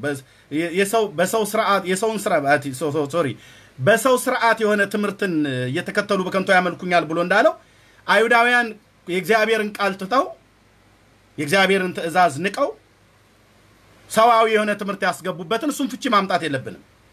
የእግዚአብሔር ቅዱስ ቃል ራሱን በራሱ የሚፈታ ነው። ዛሬ ስለ መልከ ጼዴቅ አይደለም ትምህርቴ። ስለ መልከ ጼዴቅ ደጋግሜ ተናግሬ ያለሁ ደጋግሜ ተናግሬ ያለሁ በጣም ብዙ ጊዜ ካስፈለገ በሌላ ጊዜ ላይ እናወራዋለን። ጥያቄ የሚጠይቁ ሰዎች ስላየው ነው። ጥያቄ ካላችሁ ደግሞ በውስጥ መስመር ላይ ጠይቁኝ። ስለ መልከ ጼዴቅ በጣም ደጋግሜ ተናግሬ ያለሁ ዕብራውያን መልክ ምዕራፍ ሰባትን አስታውሳለሁ። ከሶስት ጊዜ ነው ከአራት ጊዜ በላይ ተናግሬ ያለሁ አራት ክፍል ማለት ነው። ሰባትም ብቻ አሁን የራእይ መጽሐፍ ላይ ነው ያለሁትኝ። እሱን ለምሳሌነት ለመጠቀም ነው ወደዛ የገባሁትኝ። አስራ ሁለት የከዋክብት አክሊል የሆነላት ማን ናት? አስራ ሁለቱ ከዋክብት እነማን ናቸው? ፀሐይና ጨረቃውስ እነማን ናቸው? እቺ ሴትዮ ማን ናት? እውነት ኦርቶዶክሳውያን ወገኖች እንደሚሉት ወይ ካቶሊካውያን እንደሚሉት ቅድስት ድንግል ማርያም ናት ወይ? ቅድስት ድንግል ማርያም ከሆነች ለምን ዮሐንስ ማርያምን ያውቃት የለ ወይ? ከመስቀሉ ግርጌ በነበረችበት ሰዓት ላይ እነሆ እናትህ እነሆ ልጅሽ ብሎ ባላት ሰዓት ላይ ወደ ቤት ወሰዳት ይላል። ያ የጌታ ደቀ መዝሙር የሆነው ፍቁረ ጊዜ የተባለው ጌታን እጅግ የወደው ነበር የተባለው የዘብዲዮስ ልጅ ዮሐንስ ነው። አያቃትም ወይ? በደንብ ያውቃታል። ታዲያ ሲጽፍ ማርያምን አየኋት ብሎ ለምን አልጻፈም ነበር? እግዚአብሔር የሰማይ ምስጢር ከፍቶለት ካሳየው ይህቺ ሴት ማርያም መሆኗን ዮሐንስ ሳያረጋግጥ ቀርቶ እኛ የምናረጋግጥበት አንዳችን ምክንያት የለም። ማርያም ነች እያለን ማለት ነው። ታዲያ እቺ ሴት ማን ነች? እቺ ሴት እስራኤል ናት። እንዴት አላበዛሁም እንዴ ብላችሁ፣ ምንም አላበዛሁትም። የእግዚአብሔር ቃል ምን ይናገራል? ቀጥታ የእግዚአብሔር ቃል ራሱን በራሱ ስለሚፈታ በኦሪት ዘፍጥረት መጽሐፍ ምዕራፍ 37 ላይ እግዚአብሔር ቃል እንደሚናገረው ዮሴፍ ህልምን አልሞ በዛ ህልም ትርጓሜ ውስጥ እግዚአብሔር የተናገረው ማን ሶሪ አባቱ ያዕቆብ የፈታለትን ያዕቆብ የፈታለትን አባትየው እሱ የፈታለትን የህልም ፍቺ ሄደን እናያለን። ዘፍጥረት መጽሐፍ ምዕራፍ 37 ላይ ያዕቆብም አባቱ በስደት በኖረበት ሀገር በከነአን ምድር ተቀመጠ። የያዕቆብም ትውልድ ይህ ነው። ዮሴፍ የ17 ዓመት ልጅ በሆነ ጊዜ ከወንድሞቹ ጋር በጎች ይጠብቅ ነበረ። እነርሱም ከአባቱ ሶሪ እሱም ከአባቱ ሚስቶች ከላባና ከዘለፋ ልጆች ጋር ሳለ ብላቴና ነበር። ዮሴፍም የክፋታቸውን ወሬ ወደ አባታቸው አመጣ። እስራኤልም ዮሴፍን እስራኤል የተባለው ያዕቆብ ማለት ነው ስሙ ዮሴፍን ከልጆቹ ሁሉ ይልቅ ይወደው ነበረ። እርሱም በሽምግልና የወለደው ነበረ። በብዙ ኅብር ያጌጠች ቀሚስንም አደረገለት። ወንድሞቹ አባታቸው ከልጆቹ ሁሉ ይልቅ እንደሚወደው ባዩ ጊዜ ጠሉት፣ በሰላም የሚናገሩት ዘንድ አልቻሉ። ዮሴፍ ህልምን አለመ ይላል። ልብ ብለሽ ስሚኝ እህትዬ፣ እሺ። እንዲሁም መቤቴ ነች፣ ወላዲቷ ነች፣ አዛኝቷ ናት ማለት አይደለም። ልብ ብለሽ ስሚኝ። እኛ አሁን እኔ ስተረጉም መጽሐፍ ቅዱስ ራሱን በራሱ የሚተረጉምበትን በቅዱሱ በእግዚአብሔር ቃል እንጂ የምተረጉመው በራሴ መረዳት አይደለም የምተረጉመው። አንድ ሁለተኛ፣ እንደገናም ደግሞ በሌሎችም መጽሐፍ አይደለም የምተረጉመው የእግዚአብሔርን ቃል ልብ ብላችሁ ስሙ። ዮሴፍ ህልምን አለመ፣ ለወንድሞቹም ነገራቸው። እነርሱም እንደገና በብዙ ጠሉት። ምን ነበር ያለመው? እንዲህ አላቸው፣ እኔ ያለ ማን ነው እኔ ያለሙት ህልም ስሙ። እነሆ እኛ በእርሻ መካከል ነዶ ስናስር ነበረ። እነሆም የእኔ ነዶ ቀጥ ብላ ቆመች፣ የእናንተ ነዶች በዙሪያው ከበው እነሆ ለእኔ ነዶ ሰገዱ። ወንድሞቹም በእኛ ላይ ልትነግስብን ነውን ይሆንን ወይስ ልትገዛን ይሆን አሉት። እንደገና ህልም እንደገና ስለ ህልሙ ስለ ነገሩ ይቆጡት ማነው ይጠሉት ነበር። ሶሪ ይጠሉት ይልቁንም ጠሉት። ሶሪ ይቅርታ፣ መነጽሬን መጠቀም አለብኝ ብዙ ጊዜ እየቸገረኝ ነው። አሁን ወንድሞቹም በእኛ ላይ ልትነግስብን ይሆንን ወይንስ ልትገዛን ይሆንን አሉ። እንደገናም ስለ ህልሙና ስለ ነገሩ ይልቁንም ጠሉት። ደግሞም ሌላ ህልምን አለመ፣ ለወንድሞቹም ነገራቸው። በመጀመሪያ ነዶዎችን ያየው በእርሻ መካከል የስንዴ እርሻ ወይ ደግሞ የገብስ እርሻ ባለበት በዚያ እያጨዱ እያሉ ህልምን ያለመው ዮሴፍ ህልሙን ለወንድሞቹ ነገራቸው። ነዶ እያሰሩ የያዕቆብ የዮሴፍ ወንድሞች ነዶቸው በየፊት አቁመው ለዮሴፍ ነዶ ሲሰግዱ አየ። ግልጽ ነው። ለወንድሞቹ ነገራቸው። ሁለተኛ ህልም አልሞ ምን አለመ? እነሆም ደግሞ ሌላ ህልም አለምሁ ይላል። ማ ዮሴፍ ምን አለመ? እነሆ ፀሐይና ጨረቃ አስራ ሁለት ከዋክብትም ሲሰግዱልኝ አየው። ፀሐይ፣ ጨረቃ፣ አስራ ሁለቱ ከዋክብት ራእይ መጽሐፍ ምዕራፍ 12 ላይ የተጻፉት ዮሴፍ እዚህ ጋር 12ቱ ከዋክብት ያለው 11ዱ ኮከብ ሶሪ 11ዱ ኮከብ ለ12ተኛው ለዮሴፍ 12ተኛ እሱ ነውና ፀሐይና ጨረቃውን እነሱን ሁሉ አብረው ሲሰግዱልኝ አየ ብሎ ለአባትየው ለያዕቆብ ነገረው። እንዲህ ይላል። አባቱም ገሰጸው እንዲህም አለው፣ ይህንን ያለምኸው ምንድን ነው አለው። ምንድን ያለምኸው? ያዕቆብ ሲጠይቀው በእውኑ እኔና ወንድሞችህ እኔና እናትህ ሶሪ እኔና እናትህ ወንድሞችህ መተን በምድር ላይ እንሰግድልህ ይሆንን? ወንድሞቹም ቀኑበት፣ አባቱ ግን ነገሩን ይጠብቀው ነበር ይላል። ያዕቆብ እዚህ ጋር ሲተረጉምለት አስራ ሁለቱ ማን አስራ አንዱን ከዋክብት ያያቸው ሶሪ ነዶ ያየው አስራ ሁለቱ ነዶዎች ሲሰግዱ ያየው የእስራኤል ልጆች ወይ ደግሞ የዮሴፍ ወንድሞች የተባሉት አስራ አንዱ ነገደ እስራኤል ናቸው። ዮሴፍን ጨምሮ አስራ ሁለተኛው ማለት ነው። እነ ብንያም፣ እነ ይሁዳ፣ እነ ይሳኮር፣ እነ ዛብሎን እነሱም እንደዚሁም ፀሐይና ጨረቃ ብሎ ያለው እኔና እናትህ ነው ብሎ ያለው። ስለዚህ በዚህ ጋር እናትና እናትህና እኔ እንደዚሁም ወንድሞችህ ልንሰግድልህ ነውን ልንገዛልህ ነውን ብሎ ጠበቀው ይላል። አባትየው ነገሩን ጠበቀው ይላል። ማርያምም በልቧ ተጠብቀው ነበር እንደተባለው ህልሙን ጠበቀ። ያዕቆብ የእግዚአብሔር ሰው ነውና ትልቅ የእግዚአብሔር ሰው ነውና የአብርሃም የይስሐቅ የያዕቆብ አምላክ ነው የሚባለው የሕያዋን አምላክ ስለሆነ ለብ ብላችሁ ስሙ። ስለዚህ በዚህ ትርጉም መሰረት አስራ ሁለቱ ከዋክብት አስራ ሁለቱ ነገደ እስራኤል ናቸው። ያዕቆብ የፈታው ራሱ አስራ ሁለቱ ነገደ እስራኤል ማለት የአስራ ሁለቱ ነገደ እስራኤል አባት ራሱ ያዕቆብ እስራኤል የተባለው ማለት ነው። አይ እኛ እናቅልሃለን ብለን የምንተረጉመው ነገር የለም። ፀሐይና ጨረቃው እኔና እናትህ ነን ብሎ ያለው። በዚህ ትርጉም መሰረት የራእይ መጽሐፍ ምዕራፍ 12 ለእስራኤል የተነገረው ነው ብሎ የሚለውን እሱን ይዘን ብንሄድ በትክክል ክፍሉ የሚናገረው ስለ እስራኤል እንጂ ስለ ቅድስት ድንግል ማርያም አይደለም። የሚመስል ነገር አለው፣ የሚመሳሰል ነገር አለው። ቢመስልም ራሱም እንኳን እውነተኛው ነው ተብሎ ቢባልም ያ ክፍል ላይ ቅድም እንዳልኳችሁ በዕብራውያን መልእክት ምዕራፍ ሰባት ላይ እንደተጻፈው ግማሽ ቁጥር ስለ እስራኤል አውርቶ ግማሽ ቁጥር የሚናገረው ደግሞ ስለ ሌላ ቢኖር እንደዛም እንኳን ተብሎ ቢጻፍ ሙሉ በሙሉ 17ቱም ቁጥር ራእይ መጽሐፍ ምዕራፍ 12 17ቱም ቁጥር የሚያወራው ግን ስለ ቅድስት ድንግል ማርያም አይደለም። ስለዚህ የራእይ መጽሐፍ ምዕራፍ 12 ላይ 12ቱ ከዋክብት 12ቱ ነገደ እስራኤል ናቸው። ፀሐይና ጨረቃ ተብሎ የተባለው ያዕቆብ ራሱ እኔና እናትህ ነን ብሎ ለዮሴፍ በዘፍጥረት መጽሐፍ ምዕራፍ 37 ላይ የተናገረው ይሄ ነው የሚፈታው እንጂ ነገረ ማርያም ወይ ራእይ ማርያም የተባለ መጽሐፍ አይደለም። ይህንን መጽሐፍ የሚፈታው የእግዚአብሔርን ቃል ወይ ደግሞ መምሬ እንቶኔ አይደሉም የሚፈቱት። እኔም አይደለም የምፈታው፣ የእግዚአብሔር ቃል ራሱ ይናገራል። Okay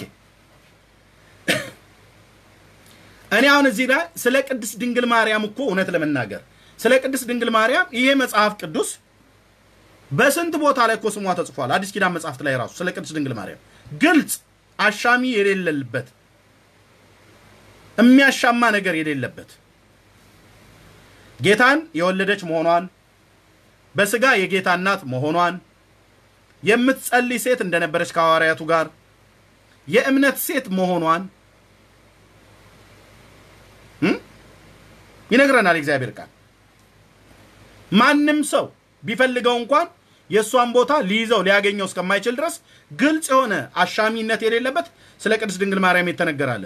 ብሉይ ኪዳን ላይ ብሉይ ኪዳን ላይ ደግሞ አንድ አለ ኢሳይያስ 7 14 ላይ ስሟ እዛ ጋር ማርያም ነው ተብሎ አይጻፍ እንጂ አንዲት ድንግል ሴት ጸንሳ እንደምትወልድ የምትወልደውም ልጅ አማኑኤል ተብሎ እንደሚባል የተነገረ ትንቢት አለ። ማርያም ነች አይልም። በዛ ዘመን ላይ ድንግል ሴት ነው ብሎ ያለው ነቢዩ የተናገረው ኢሳያስ በወቅቱ በኢሳያስ ዘመን ማርያም ተብላ ባትባልም ከሰባት መቶ ዓመት በኋላ የድንግሊቱም ስም ማርያም ነበር ብሎ መልአኩ ቅዱስ ገብርኤል ተናግሯል። በቃ ግልጽ የሆነ ነገር ማለት የግድ ስሟ በትንቢተ ኢሳያስ ምዕራፍ 7 ቁጥር 14 ላይ ማርያም ተብሎ እንኳን ባይጻፍም እንኳን ያ ትንቢት የሚገባውም የተገባትም ለቅድስት ድንግል ማርያም ነው።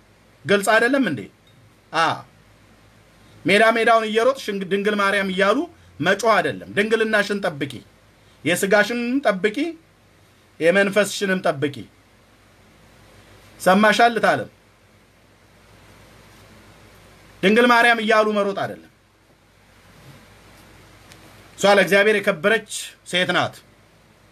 ለእግዚአብሔር የከበረች እናት ናት። የስጋው ድንግልና እንኳን ቢጠፋ የመንፈስ ድንግልናችሁን ለእግዚአብሔር ጠብቁ። እሷ ለእግዚአብሔር ነው የጠበቀችው። ግልጽ አይደለም? ለክርስቶስ ማለት ነው። ክርስቶስ እግዚአብሔር ነው። አዎ እንደው እመቤቴ ድንግልዬ ወላላይቱ አዛኝቱ ማለት አይደለም። አንቺ ድንግል ነሽ ወይ በስጋሽ? የእውነት እኮ ማለት ነው። የእውነት ማለት ነው። እኔ አወራለሁ አወራለሁ አልኩሽ። ይኸውልሽ በወንጌል እንደዚህ ፈጣጣ ነኝ። ከጋብቻ በፊት እየሄድሽ እየተጋደምሽ አልጋ ላይ ስለ ድንግል ማርያም ለማውራት ለመመስከር አፍ የለሽም። ጭጭ ነው ማለት ያለብሽ አንቺ። እሷ እጮኛ ኖሯት ድንግል ነች። የሚገርም እኮ ነው። እጮኛ ማለት ደግሞ በነዘበነ ትርጓሜ ቦዲጋርድ አይደለም። በነ ታሪኩ በነ ሌሎችም ይኸው ማለት ነው። ቦዲጋርድ ወይ ደግሞ ዘበኛ አይደለም። እጮኛ ማለት በዕብራውያኖቹም በእኛ በኢትዮጵያም እጮኛ ማለት እጮኛ ማለት ነው። እጮኛ ማለት ሊጋባቡ ሊጋቡ ቀናቸውን የሚጠብቁ በቃል ኪዳን የተሳሰሩ ወንድና ሴት ናቸው። ደግመዋለሁ፣ ወንድና ሴት ናቸው። እሰልሰዋለሁ፣ ወንድና ሴት ናቸው።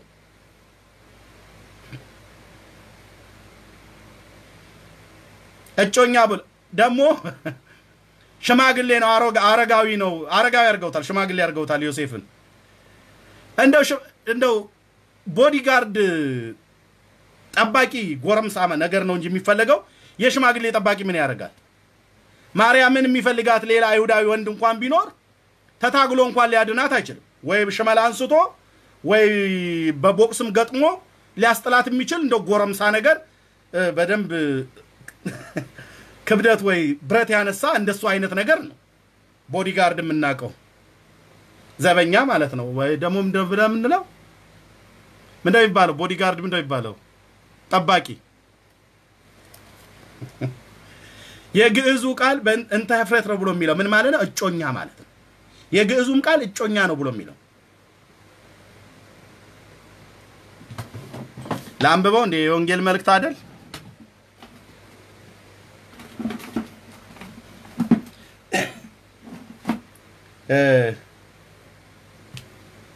በቅርብ ካገኘሁት አነባዋለሁ የግዕዙንም መጽሐፍ።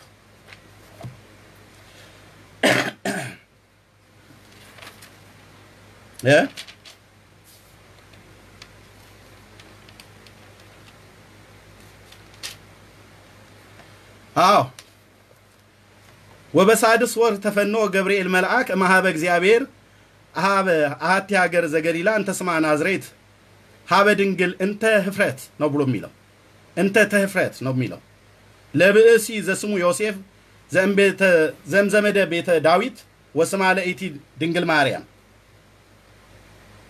ተኅፍረት ብሎ የሚለው እጮኛ ማለት ነው። ዘበኛ አይልም፣ ጠባቂ አይልም። የሽማግሌ ጠባቂ ደግሞ አያስፈልጋትም። ስለዚህ ለማንኛውም እጮኛ ብሎ ያለው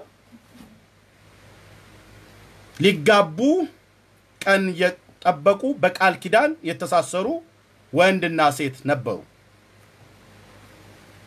ስለዚህ ቅድስት ድንግል ማርያም እጮኛ ኖሯት ድንግል ናት። በዚሁ አጋጣሚ ልናገር ብዬ ነው።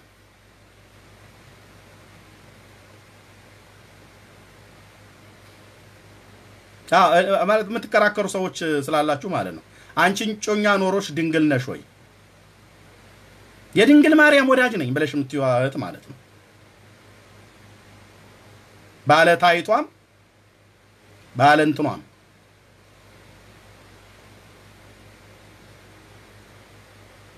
okay። ስለዚህ ቅድስት ድንግል ማርያም አንደኛ የስጋዋን ድንግልና ለእግዚአብሔር ጠብቃ የኖረች ነች። ይህችን ነው የማውቃት ድንግል ማርያም የጌታዬ እናት ማለት ነው። እኛ ጴንጤዎች የምናውቃት እሷን ነው። የስጋዋንም ድንግልና ለእግዚአብሔር ጠብቃ የኖረች የመንፈሷንም ድንግልና ለማንም ያላነካካች ለእግዚአብሔር ጠብቃ የኖረች። ስለዚህ ነው ማርያም ስትጸልይ ስትናገር እንዲህ ብላ ያለችው ነፍሴ ነፍሴ ጌታዬን የእስራኤልን አምላክ እና ከሱ በፊት ከሱም ጋር ደግሞ ያሉ ጻድቃን ሰማዕታትንም እንትናንም እንትናንም እንትና የተባሉትንም ጻድቅ እንትና የተባሉትንም ምናምን ነገር ታከብራለች አላለችም። ያለችው ነፍሴ ጌታን ታከብረዋለች፣ መንፈሴስ በአምላኬና በመድኃኒቴ ሐሴት ታደርጋለች፣ በሌላስ ሐሴት አታደርግም። የማርያም ነፍስ ጌታ ይባርካት። የተባረከች እህት እንዴት እንደምወዳት አልኳችሁ። በእውቀት ያው በእውቀት ግልጽ አይደለም እንዴ? በጣም ነው የምወዳት። ነፍሴ ጌታን ታከብረዋለች። የአንቺ ነፍስ ማን ነው የሚያከብረው? ከወር እስከ ወር ያለው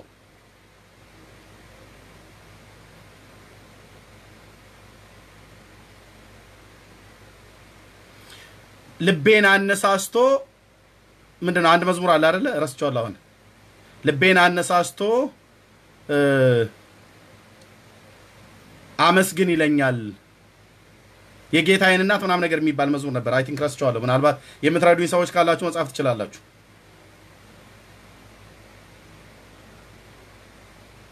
ልቤን አነሳስቶ ምን በል ይለኛል የጌታዬን እናት አመስግን ይለኛል ብሎ የሚል ዝማሬ አለ እና ልብሽን አነሳስቶ ፍጥሩ አመስግኝ ብሎ ሲልሽ እሱን ልብሽን ተይበዩ።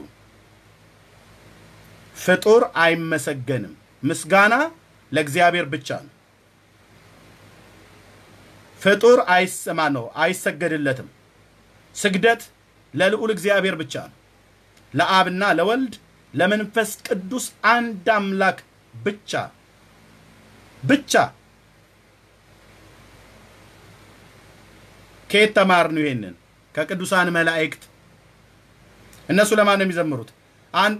አንዱ ለአንዱ በል ሚካኤል ለገብርኤል ዘምሩለት ሚካኤል ደግሞ የመልአክ አለቃ ስለሆነ ሌሎቻችሁ ተሰብስባችሁ ደግሞ ለዋናው ለአለቃችን ለሚካኤል ዘምሩለት ብለው አይሉ። አንዳቸው ለአንዳቸው እየተቀባበሉ የሚዘምሩት ለእርስ በርሳቸው ሳይሆን ሁላቸው እየተቀባበሉ ቅዱስ ቅዱስ የሰራዊት ጌታ እግዚአብሔር ምድር ሁሉ ከክብር የተነሳ ተሞልታለች ብለው የሚጮሁት ለእግዚአብሔር ነው፣ የሚዘምሩት ለእግዚአብሔር ነው። ሲቀጥልስ ከቀደሙ አባቶች የተማርነውም ለእግዚአብሔር ነው የዘመሩት። ምድርና ሞላዋ ለእግዚአብሔር ዘምሩ ነው ያለው። እንደውም በማስተዋል አድርጉት፣ ያለ ማስተዋል እንዳዘምሩ ለእግዚአብሔር በማስተዋል ዘምሩ ይላል። ዘምሩ፣ ለእግዚአብሔር ዘምሩ፣ ዘምሩ፣ ለንጉሳችን ዘምሩ ይላል። በምስራቅ በኩል ወደ ሰማያ ሰማያት ለወጣው ለእግዚአብሔር ዘምሩ ይላል። ኃይሌም ዝማሬም ለእግዚአብሔር ነው ይላል ዳዊት። እግዚአብሔርን ሁል ጊዜ እባርከዋለሁ፣ ምስጋናውም ዘወትር ባፌ ነው ይላል። ስለዚህ የስጋ ድንግልናዋንም የመንፈስ ድንግልናዋንም ለእግዚአብሔር ጠብቃ የኖረች እናት ናት ቅድስት ድንግል ማርያም። እህት ናት ቅድስት ድንግል ማርያም። Okay። ስለዚህ እቺ በራእይ መጽሐፍ ምዕራፍ 12 ቁጥር አንድ ላይ ያለችዋ ቅድስት ድንግል ማርያም ሳትሆን እስራኤል ናት። ቁጥር አንድ ላይ ያለችዋ። በዚህ መሰረት ቅድስት ድንግል ማርያም አለመሆኗን እስራኤል መሆኗን ዛሬ ብቻ ዛሬ አልጨርሰውም። ኧረ አይጨርስም አለ ሰዓቴን መጠበቅ ስላለብኝ ዛሬ አልጨርሰውም። እየቀጠል እናየዋለን።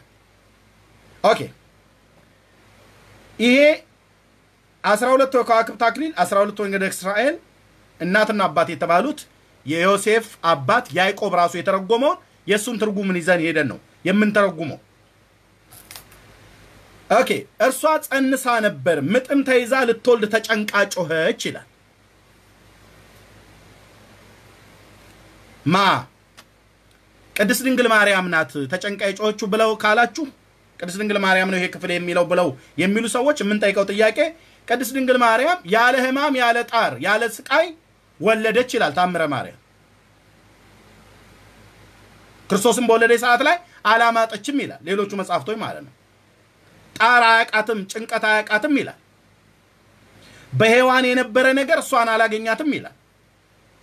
ራእይ መጽሐፍ ላይ ደግሞ ያለችዋ ምዕራፍ 12 ላይ ያለችዋ ደግሞ ተጨንቃ ቁጥር ሁለት ላይ ተጨንቃ ምጥ ይዟት ተጨንቃ ልትወልድ ጮኸች።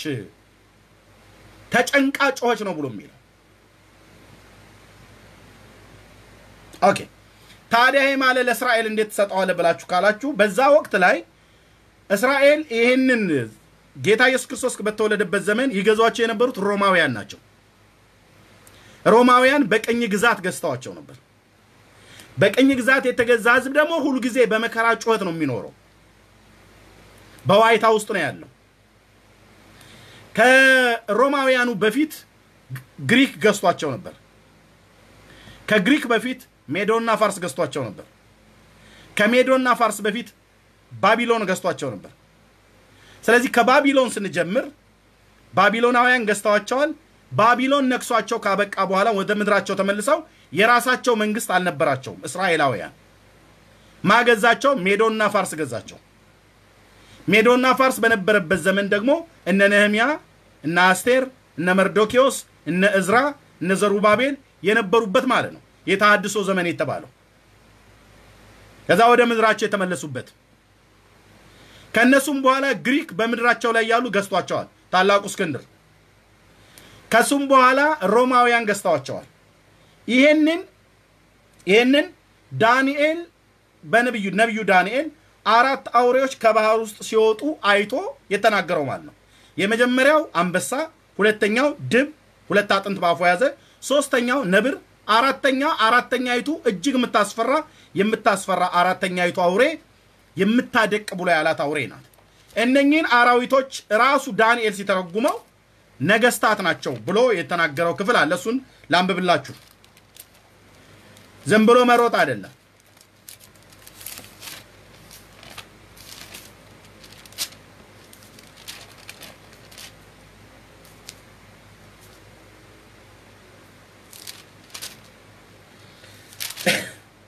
እንደዚህ ይላል። ልብ ብላችሁ ስሙ።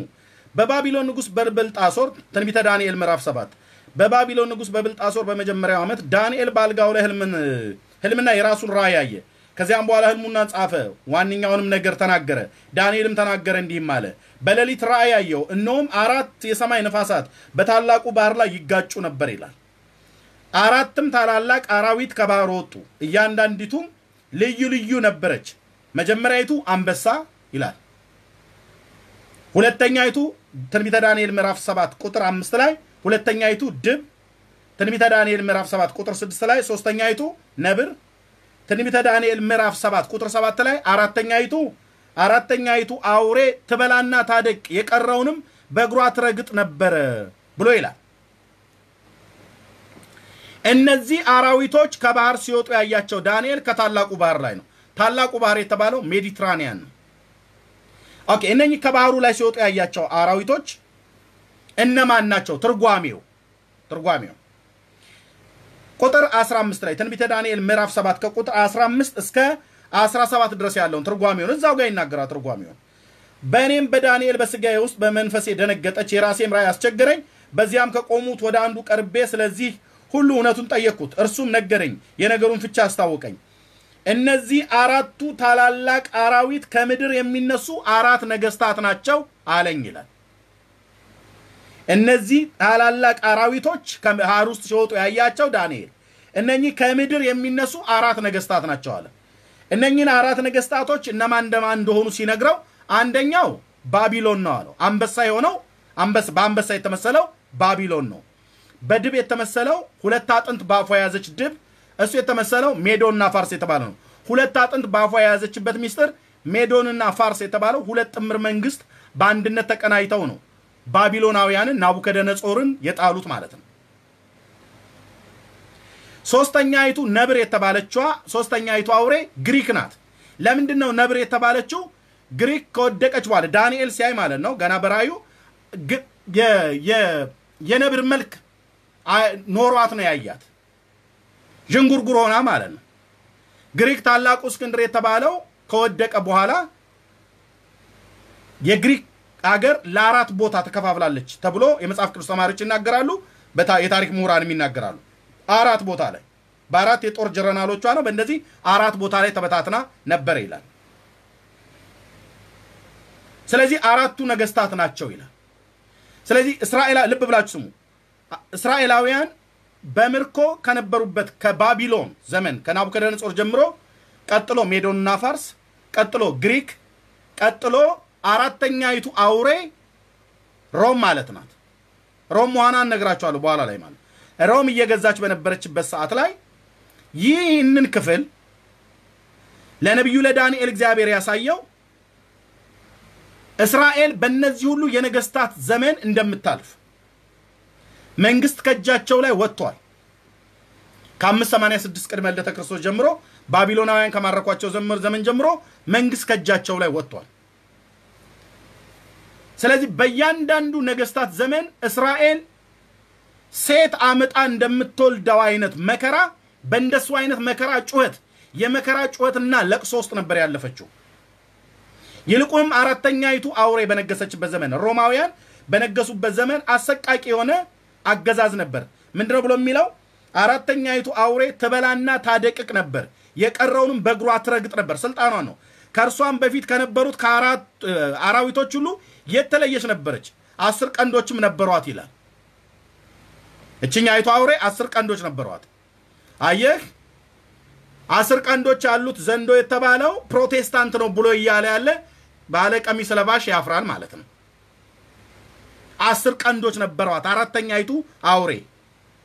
አራተኛይቱ አውሬ ዳንኤል ሲተረጉምልን ቁጥር 16 ላይ ትንቢተ ዳንኤል ምዕራፍ 7 ቁጥር 16 ላይ አራተኛይቱ አውሬ ሮም ናት። አራት ነገስታት ናቸው የሚነሱት ብሏል። የመጀመሪያው ባቢሎን፣ ሁለተኛው ሜዶን፣ ሶስተኛው ግሪክ፣ አራተኛው ሮም። ሮማውያን እየገዙ በነበሩበት ዘመን ጌታችን መድኃኒታችን ኢየሱስ ክርስቶስ ተወለደ። ቁጥር ምዕራፍ 9 ትንቢተ ዳንኤል ምዕራፍ 9 ከቁጥር 24 እስከ 26 ድረስ ያለውን አነባዋለሁ። አመፃን ይጨርስ፣ ኃጢአትን የሚፈጽም፣ በደልንም ያስተሰርይ፣ የዘላለም ጽድቅን ያገባ፣ ራእይና ትንቢትን ያትም፣ ቅዱሱንም ቅዱሳንን ይቀባ ዘንድ በሕዝብና በቅድስት ከተማ ላይ ሰባ ሱባኤ ተቆጥሯል። ሱባኤ ማለት ነው። ይሄ ዘመን የዘመን ካላንደር አቆጣጠር ማለት ነው። ለአይሁዳውያኑ ይገባቸዋል። ስለዚህም ወቅ አስተውልም፣ ኢየሩሳሌም መጠገንና መሰራት ትእዛዙም ከሚወጣበት ጀምሮ እስከ አለቃው እስከ መሲህ ድረስ ሰባት ሱባኤና ስድሳ ሁለት ሱባኤ ይሆናል። እርሷም በጭንቅ ዘመን ከጎዳናና ከቅጥር ጋር ትሰራለች። ከስድሳ ሁለትም ሰባትም በኋላ መሲህ ይገደላል ይላል። ስለ ክርስቶስ ኢየሱስ መሞት ዳንኤል ራሱ የተናገረው በትንቢተ ዳንኤል ምዕራፍ 9 ቁጥር 26 ላይ አለ። ኢየሱስ ክርስቶስ መሲሁ ብሎ የተነገረው ለእስራኤል ቤት የሚመጣው መሲሁ በእነሱ ቋንቋ አነጋገር እሱ ይገደላል ይላል። የየትኛይቱ አራተኛይቱ አውሬ በምድር ላይ በምሰለጥንበት ጊዜ ማለት ነው። ስለዚህ በአጭር ቃል ጌታችን ኢየሱስ ክርስቶስ በተወለደበት ዘመን አውጉስጦስ ቄሳር በሮም እየገዛ እያለ የመካከለኛው ምስራቅን እስራኤልን ጨምሮ ሙሉ በሙሉ በቀኝ ግዛት ይዞ የሜዲትራኒያን ባህር አገሮች በሙሉ ያሉትን እነሱን ይዞ እየገዛ በነበረበት ዘመን ላይ ጌታችን መድኃኒታችን ኢየሱስ ክርስቶስ ተወለደ። አውጉስጦስ ቄሳር በነገሰበት ዘመን የሕዝብ ቆጠራ በነበረበት ዘመን ጌታ ኢየሱስ ክርስቶስ ቤተልሔም ይሁዳ ምድር ተወለደ። በሰላሳ ዓመቱ ደግሞ ጢባሪዮስ ቄሳር በነገሰ በአስራ አምስተኛው ዓመት ጴንጤናዊ ጲላጦስ በይሁዳ ሲገዛ ሄሮድስም እንደዚሁ በገሊላ ይላል። ያኔ ደግሞ ጌታ ኢየሱስ ክርስቶስ በዮርዳኖስ ተጠመቀ።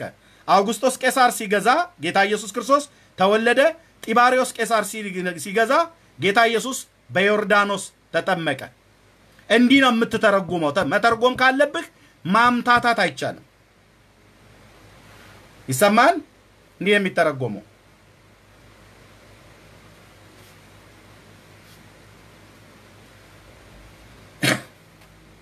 ስለዚህ በዳንኤል ዘመን ላይ ተጨንቃ ነበር ብሎ ያለው እስራኤል በዚያ ዘመን ላይ ትኖርበት የነበረው ከዛም በፊት ትኖርበት የነበረው አንዲት ሴት ምልክት ነው ያየው። አንዲት ሴት ልጅ ልትወልድ ስትል የሚመጣው ምጥ እንደሚያስጨንቃት በመከራ ትጨነቅ ነበረ።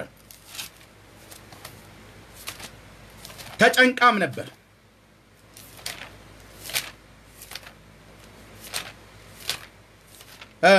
በኢሳይያስ ትንቢት መጽሐፍ ላይ የእግዚአብሔር ቃል ሲናገር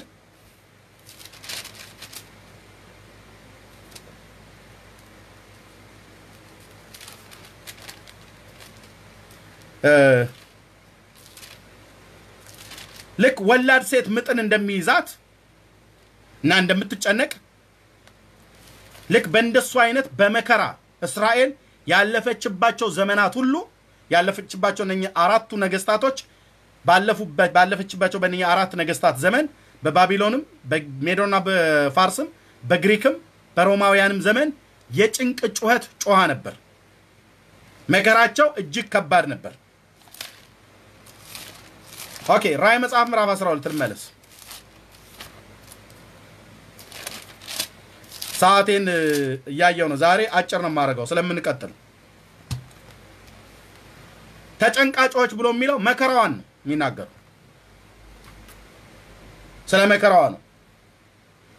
ክርስቶስ በተወለደበት ዘመን የነበረው መከራዋን ነው የሚናገረው ስለ እስራኤል ነው።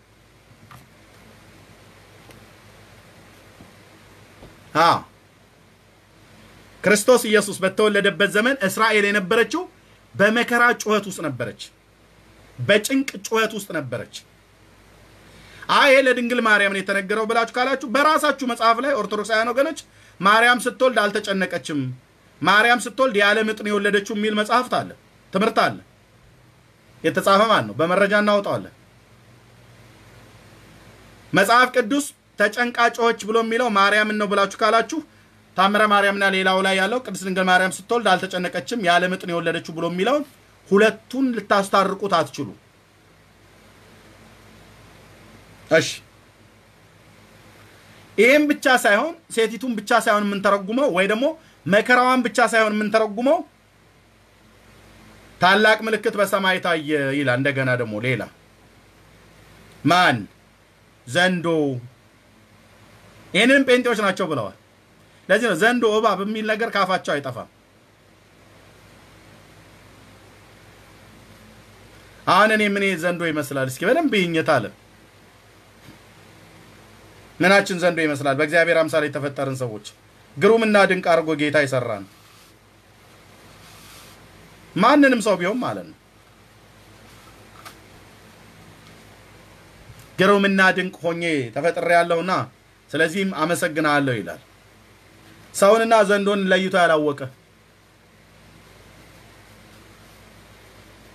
አይ እናንተ አይደላችሁም እኮ መንፈሱ ነው ብለህ ካልከኝ የዘንዶ መንፈስ ያለበት ሰው ኢየሱስ ጌታ ነው እያለ አንድ ዓመት ሁለት ዓመት ሶስት ዓመት አራት ዓመት ሀያ ዓመት ሰላሳ ዓመት ይሰብካል እንዴ? አይሰብክም። ዘንዶ ኢየሱስ ያድናል እያለ ይሰብክሃል? አይሰብክም። የዘንዶ መንፈስ ያለባቸው ሰዎች ስግደት ለአብ ለወልድ ለመንፈስ ቅዱስ ነው ብሎ ይልሃል? አይልህም። ለእኔም ስገድልኝ ነው እንጂ ብሎ የሚልህ እኛ እያልን ያለ ነው ለአብና ለወልድ ለመንፈስ ቅዱስ ስገዱ፣ ለፍጡር አይሰገድም እያለ ነው። አይ እናንተ ማለታችን ሳይሆን በእናንተ ውስጥ ያደረው ነው ብለሽ እንዳትይ፣ በእኔ ውስጥ ያደረው ቅዱስ የእግዚአብሔር መንፈስ ነው፣ በእህቶቼ በወንድሞቼ ውስጥ በጌታ ባመኑት ውስጥ ማለት ነው። እሺ ዘንዶስ ማን ነው?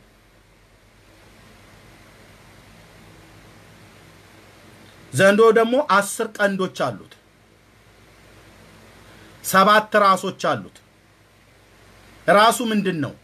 ቀንዱስ ምንድን ነው? በዚህ በራእይ መጽሐፍ ምዕራፍ 12 ላይ እስራኤልን እናያለን፣ ሰይጣንን እናያለን፣ ክርስቶስን እናያለን፣ ቅዱሳን መላእክትን እናያለን። እነኛ አራቱ ናቸው ያሉት። ልብ ብላችሁ ስሙ። በዚህ በራእይ መጽሐፍ ምዕራፍ 12 ላይ ሴቲቱ የተባለችው እስራኤል ናት። ዘንዶ የተባለው ሰይጣን ነው። እንዲሁም የመላእክት አለቃ ቅዱስ ሚካኤል ራሱ አለ እና ክርስቶስ አለ።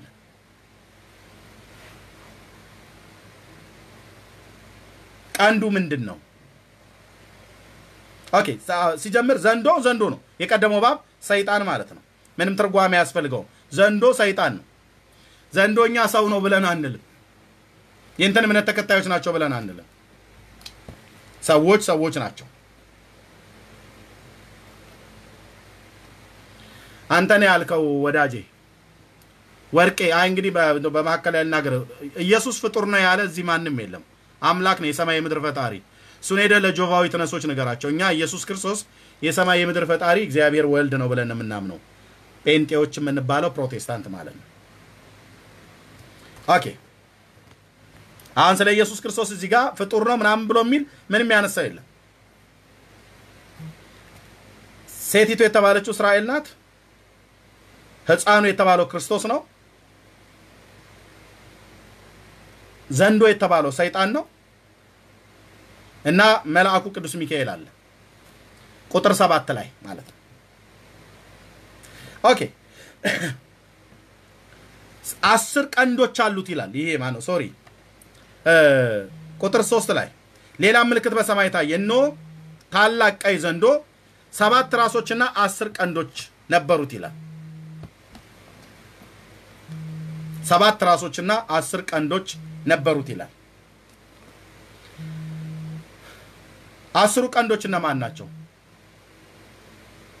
ቅድም ታስታውሱ። አስሩ ቀንድ እነማን ነው? በመጀመሪያ የዘንዶ አስሩ ቀንድ ማን ነው?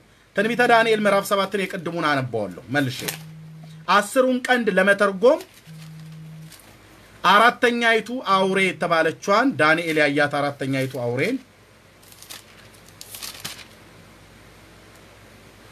እሷን እናገራለሁ።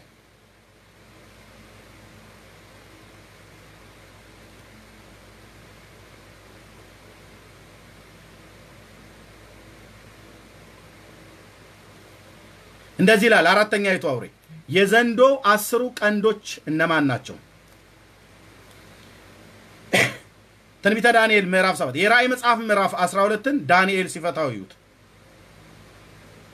አራተኛይቱ አውሬ ትንቢተ ዳንኤል ምዕራፍ 7 ቁጥር 7 ላይ አራተኛይቱ አውሬ ነበረች፣ ትበላና ታደቅ ነበር፣ የቀረውንም በእግሯም ትረግጥ ነበረ። ከእርሷም በፊት ከነበሩት አራዊቶች ሁሉ የተለየች ነበረች፣ አስር ቀንዶች ነበሯት ይላል።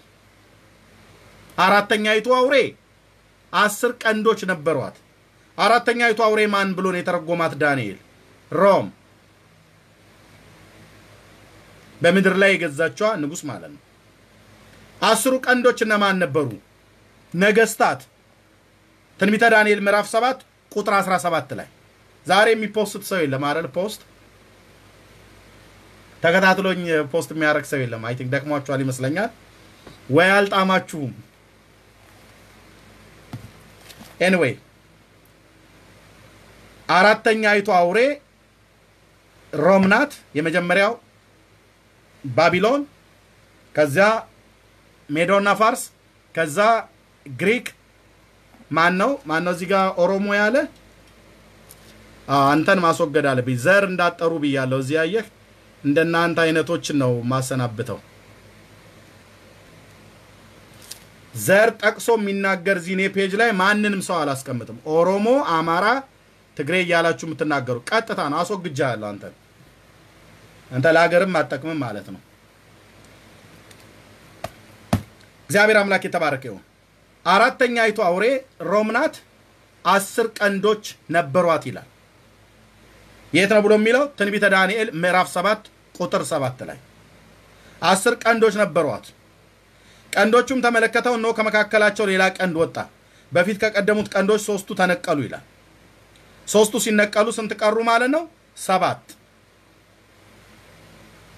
ሶስቱ ተነቀሉ። አስር ቀንዶች ነበሯት። ሶስቱ ተነቀሉ፣ ሰባት ቀራት።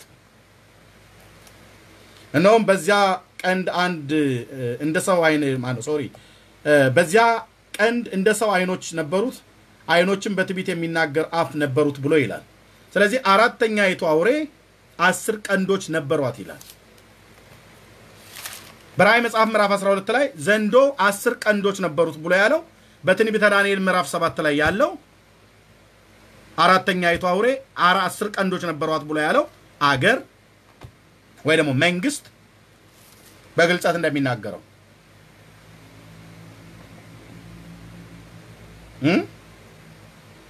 የራእይ መጽሐፍ ምዕራፍ 12 ዘንዶ ሰይጣን ነው።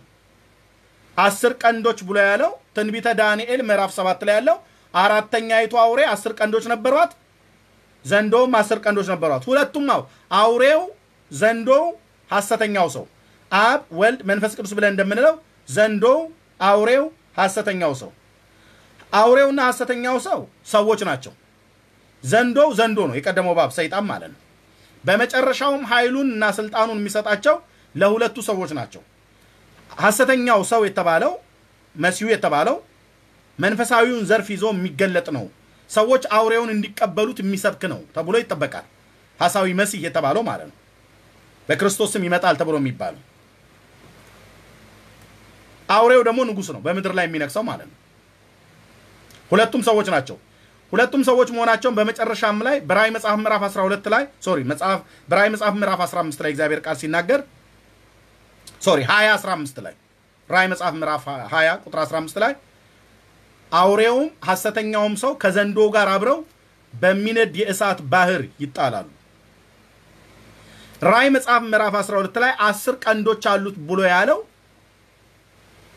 በትንቢተ ዳንኤል ምዕራፍ 7 ላይ አስር ቀንዶች አላት ብሎ ያለው አውሬዊቱ አራተኛይቱ መንግስት ናት።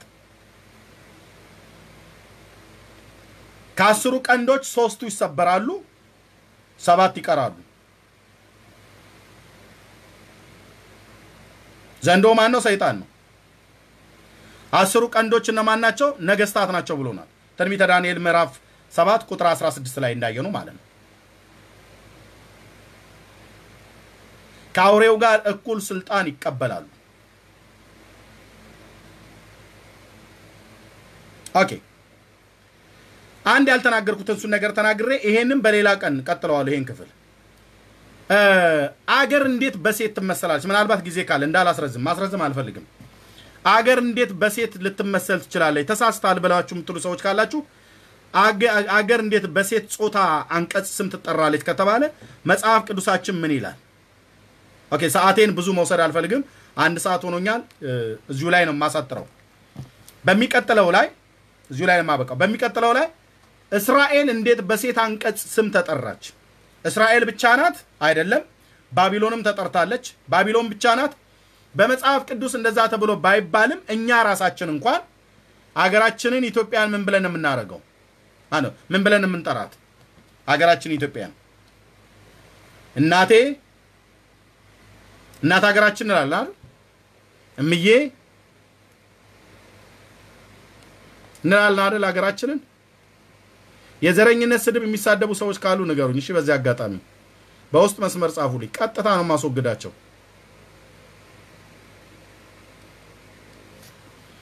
ሀገራችንን እናቴ እምዬ ብለን እንጠራለን። እምዬ ኢትዮጵያ፣ እናቴ ኢትዮጵያ ብለን እንጠራለን አይደል? ለምንድን ነው በሴት አንቀጽ የምንጠራት? ለምን አብዬ ኢትዮጵያ ለምን አንልም? አባቴ ኢትዮጵያ ለምን አንልም? እናት ሀገሬ፣ አዎ ልክ ነሽ ፍርዬ፣ እናት ሀገሬ እንላለን አይደል? በሴት አንቀጽ ለምን እንደምትጠራው እስራኤል ማን ነው? ኢትዮጵያ። እግዚአብሔር በሴት አንቀጽ ለምንድን የጠራት እስራኤልን? በሚቀጥለው ላይ ጊዜ ላይ እሱን እናይና ከዛ ዘንዶ ሰይጣን ነው። አስሩ ቀንዶች መንግስታት ናቸው። ሰባቱ ራሶች የተባሉት ሶስቱ ተሰብረው ሰባት የቀሩት ናቸው። እነሱ ማለት እነማን ናቸው? መቼስ ነው የሚገለጡት? በቅድመ ተከተል ነው የምንሄደው። አሁን ቁጥር ሶስት ላይ ነው ያለነው። ራእይ መጽሐፍ አስራ ሁለተኛውን ምዕራፍ ለመናገር በአንዴ እመቤቴ ነች አይባልም። በአንዴ እንትን አምነው አይባልም።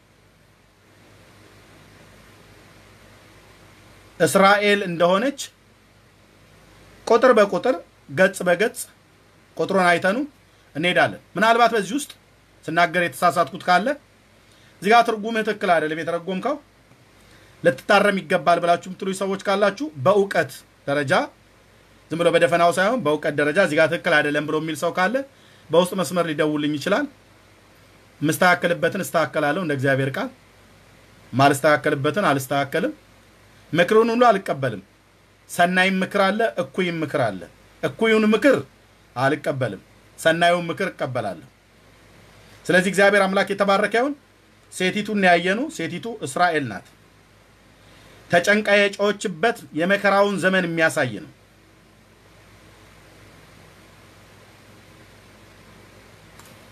የነበረችበትን ክርስቶስ የተወለደበት ዘመን ላይ እስራኤል በምን አይነት ሁኔታ የነበረችበትን ዘመን የሚያመለክት ነው።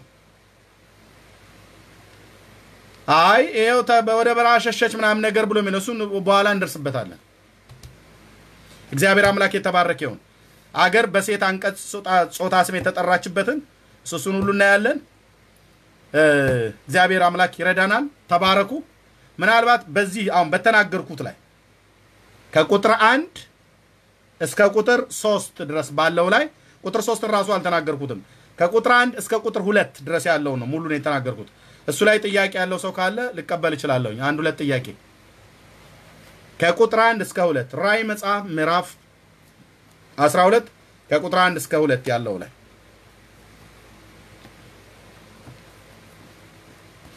ይህን ክፍል ለመናገር ይህን ክፍል ለማብራራት ብዬ እንግዲህ በመጀመሪያው ዕብራውያን ምዕራፍ ሰባት ላይ ሄጃለሁ። ትንቢተ ዳንኤል ላይ ሄጃለሁኝ። ምናልባት በዛም ላይ ካለ ልቀበል እችላለሁ። ካለ ጥያቄ እንዳላስረዝመው ብዬ ነው። በጣም እያስረዘም ካቃት ብላው ስላሉኝ ይበቃል። አንድ ሰዓት እና ከአንድ ሰዓት ከሀያ መብለጥ የለበትም። ክፍሉ ይቀጥላል ወደፊት። ጌታ ኢየሱስ የተባረከ ይሁን። ሴቲቱን ብቻ አይደለም የምንተረጉመው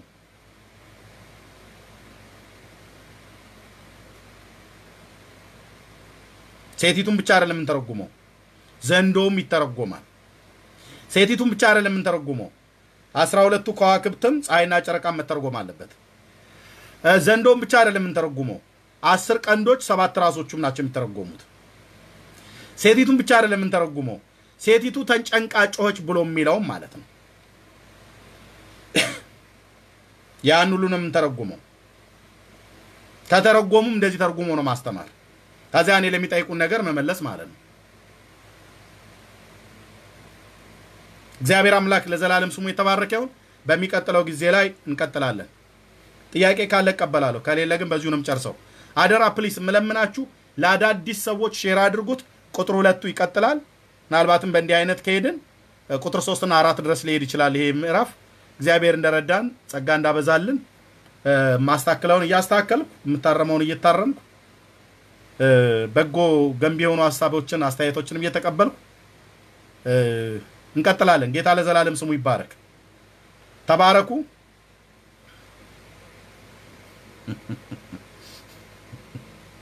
እሺ ወንድሜ ሶል ኪንግ፣ እሱ የእኔ ጥያቄ አይደለም። Thank you ተባረክ ወንድሜ። By the way እሱን አሁን አላነሳሁትም በዚህ ክፍል ላይ ስለ አቡነ አረጋዊ በሌላ ርዕስ እናነሳዋለን። እሺ ጥያቄ አሁን በተናገርኩት ላይ የለም። በዚህ ንግግር መሰረት ራእይ መጽሐፍ ምዕራፍ 12 ቁጥር 1 እና 2 ላይ ያለው ትርጉም የተረጎምከው ትክክል አይደለም ብላችሁ የምትሉ ሰዎች ካላችሁ ጥያቄ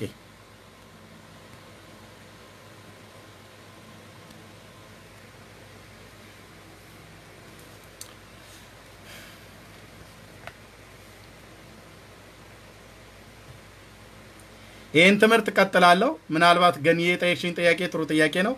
ቋሚ ቀን ላይኖረኝ ይችላል። በእንደዚሁ አይነት ሰዓት ላይ በሚመቸኝ ሰዓት ላይ ነው የምመጣው። ጌታ ቢፈቅድ next ላይ ከፓስተር ጋር እንቀጥላለን። ዛሬ እሑድ ነው። Next ላይ ግን እንቀጥላለን ከፓስተርም ጋር እግዚአብሔር ይፈቅድና በህይወት ብንኖር። ተባረኩ። ቁጥር አንድና ቁጥር ሁለትን ብቻ ነው ራእይ መጽሐፍን ያየን ምዕራፍ 12ን ማለት ነው። ገና 15 ቁጥሮች ይቀራሉ። እነሱን ሁሉ ከተናገርን በኋላ ነው እንግዲህ እስራኤል መሆኗንም አለመሆኗንም የምናየው ማርያም መሆኗንም አለመሆኗንም የምናየው። ጌታ ኢየሱስ ዘመናችሁን ይባርክ። ተባረኩ። ለአዳዲስ ሰዎች share አድርጉት please። ብሩካን ናችሁ። ተባረኩ። ሻሎም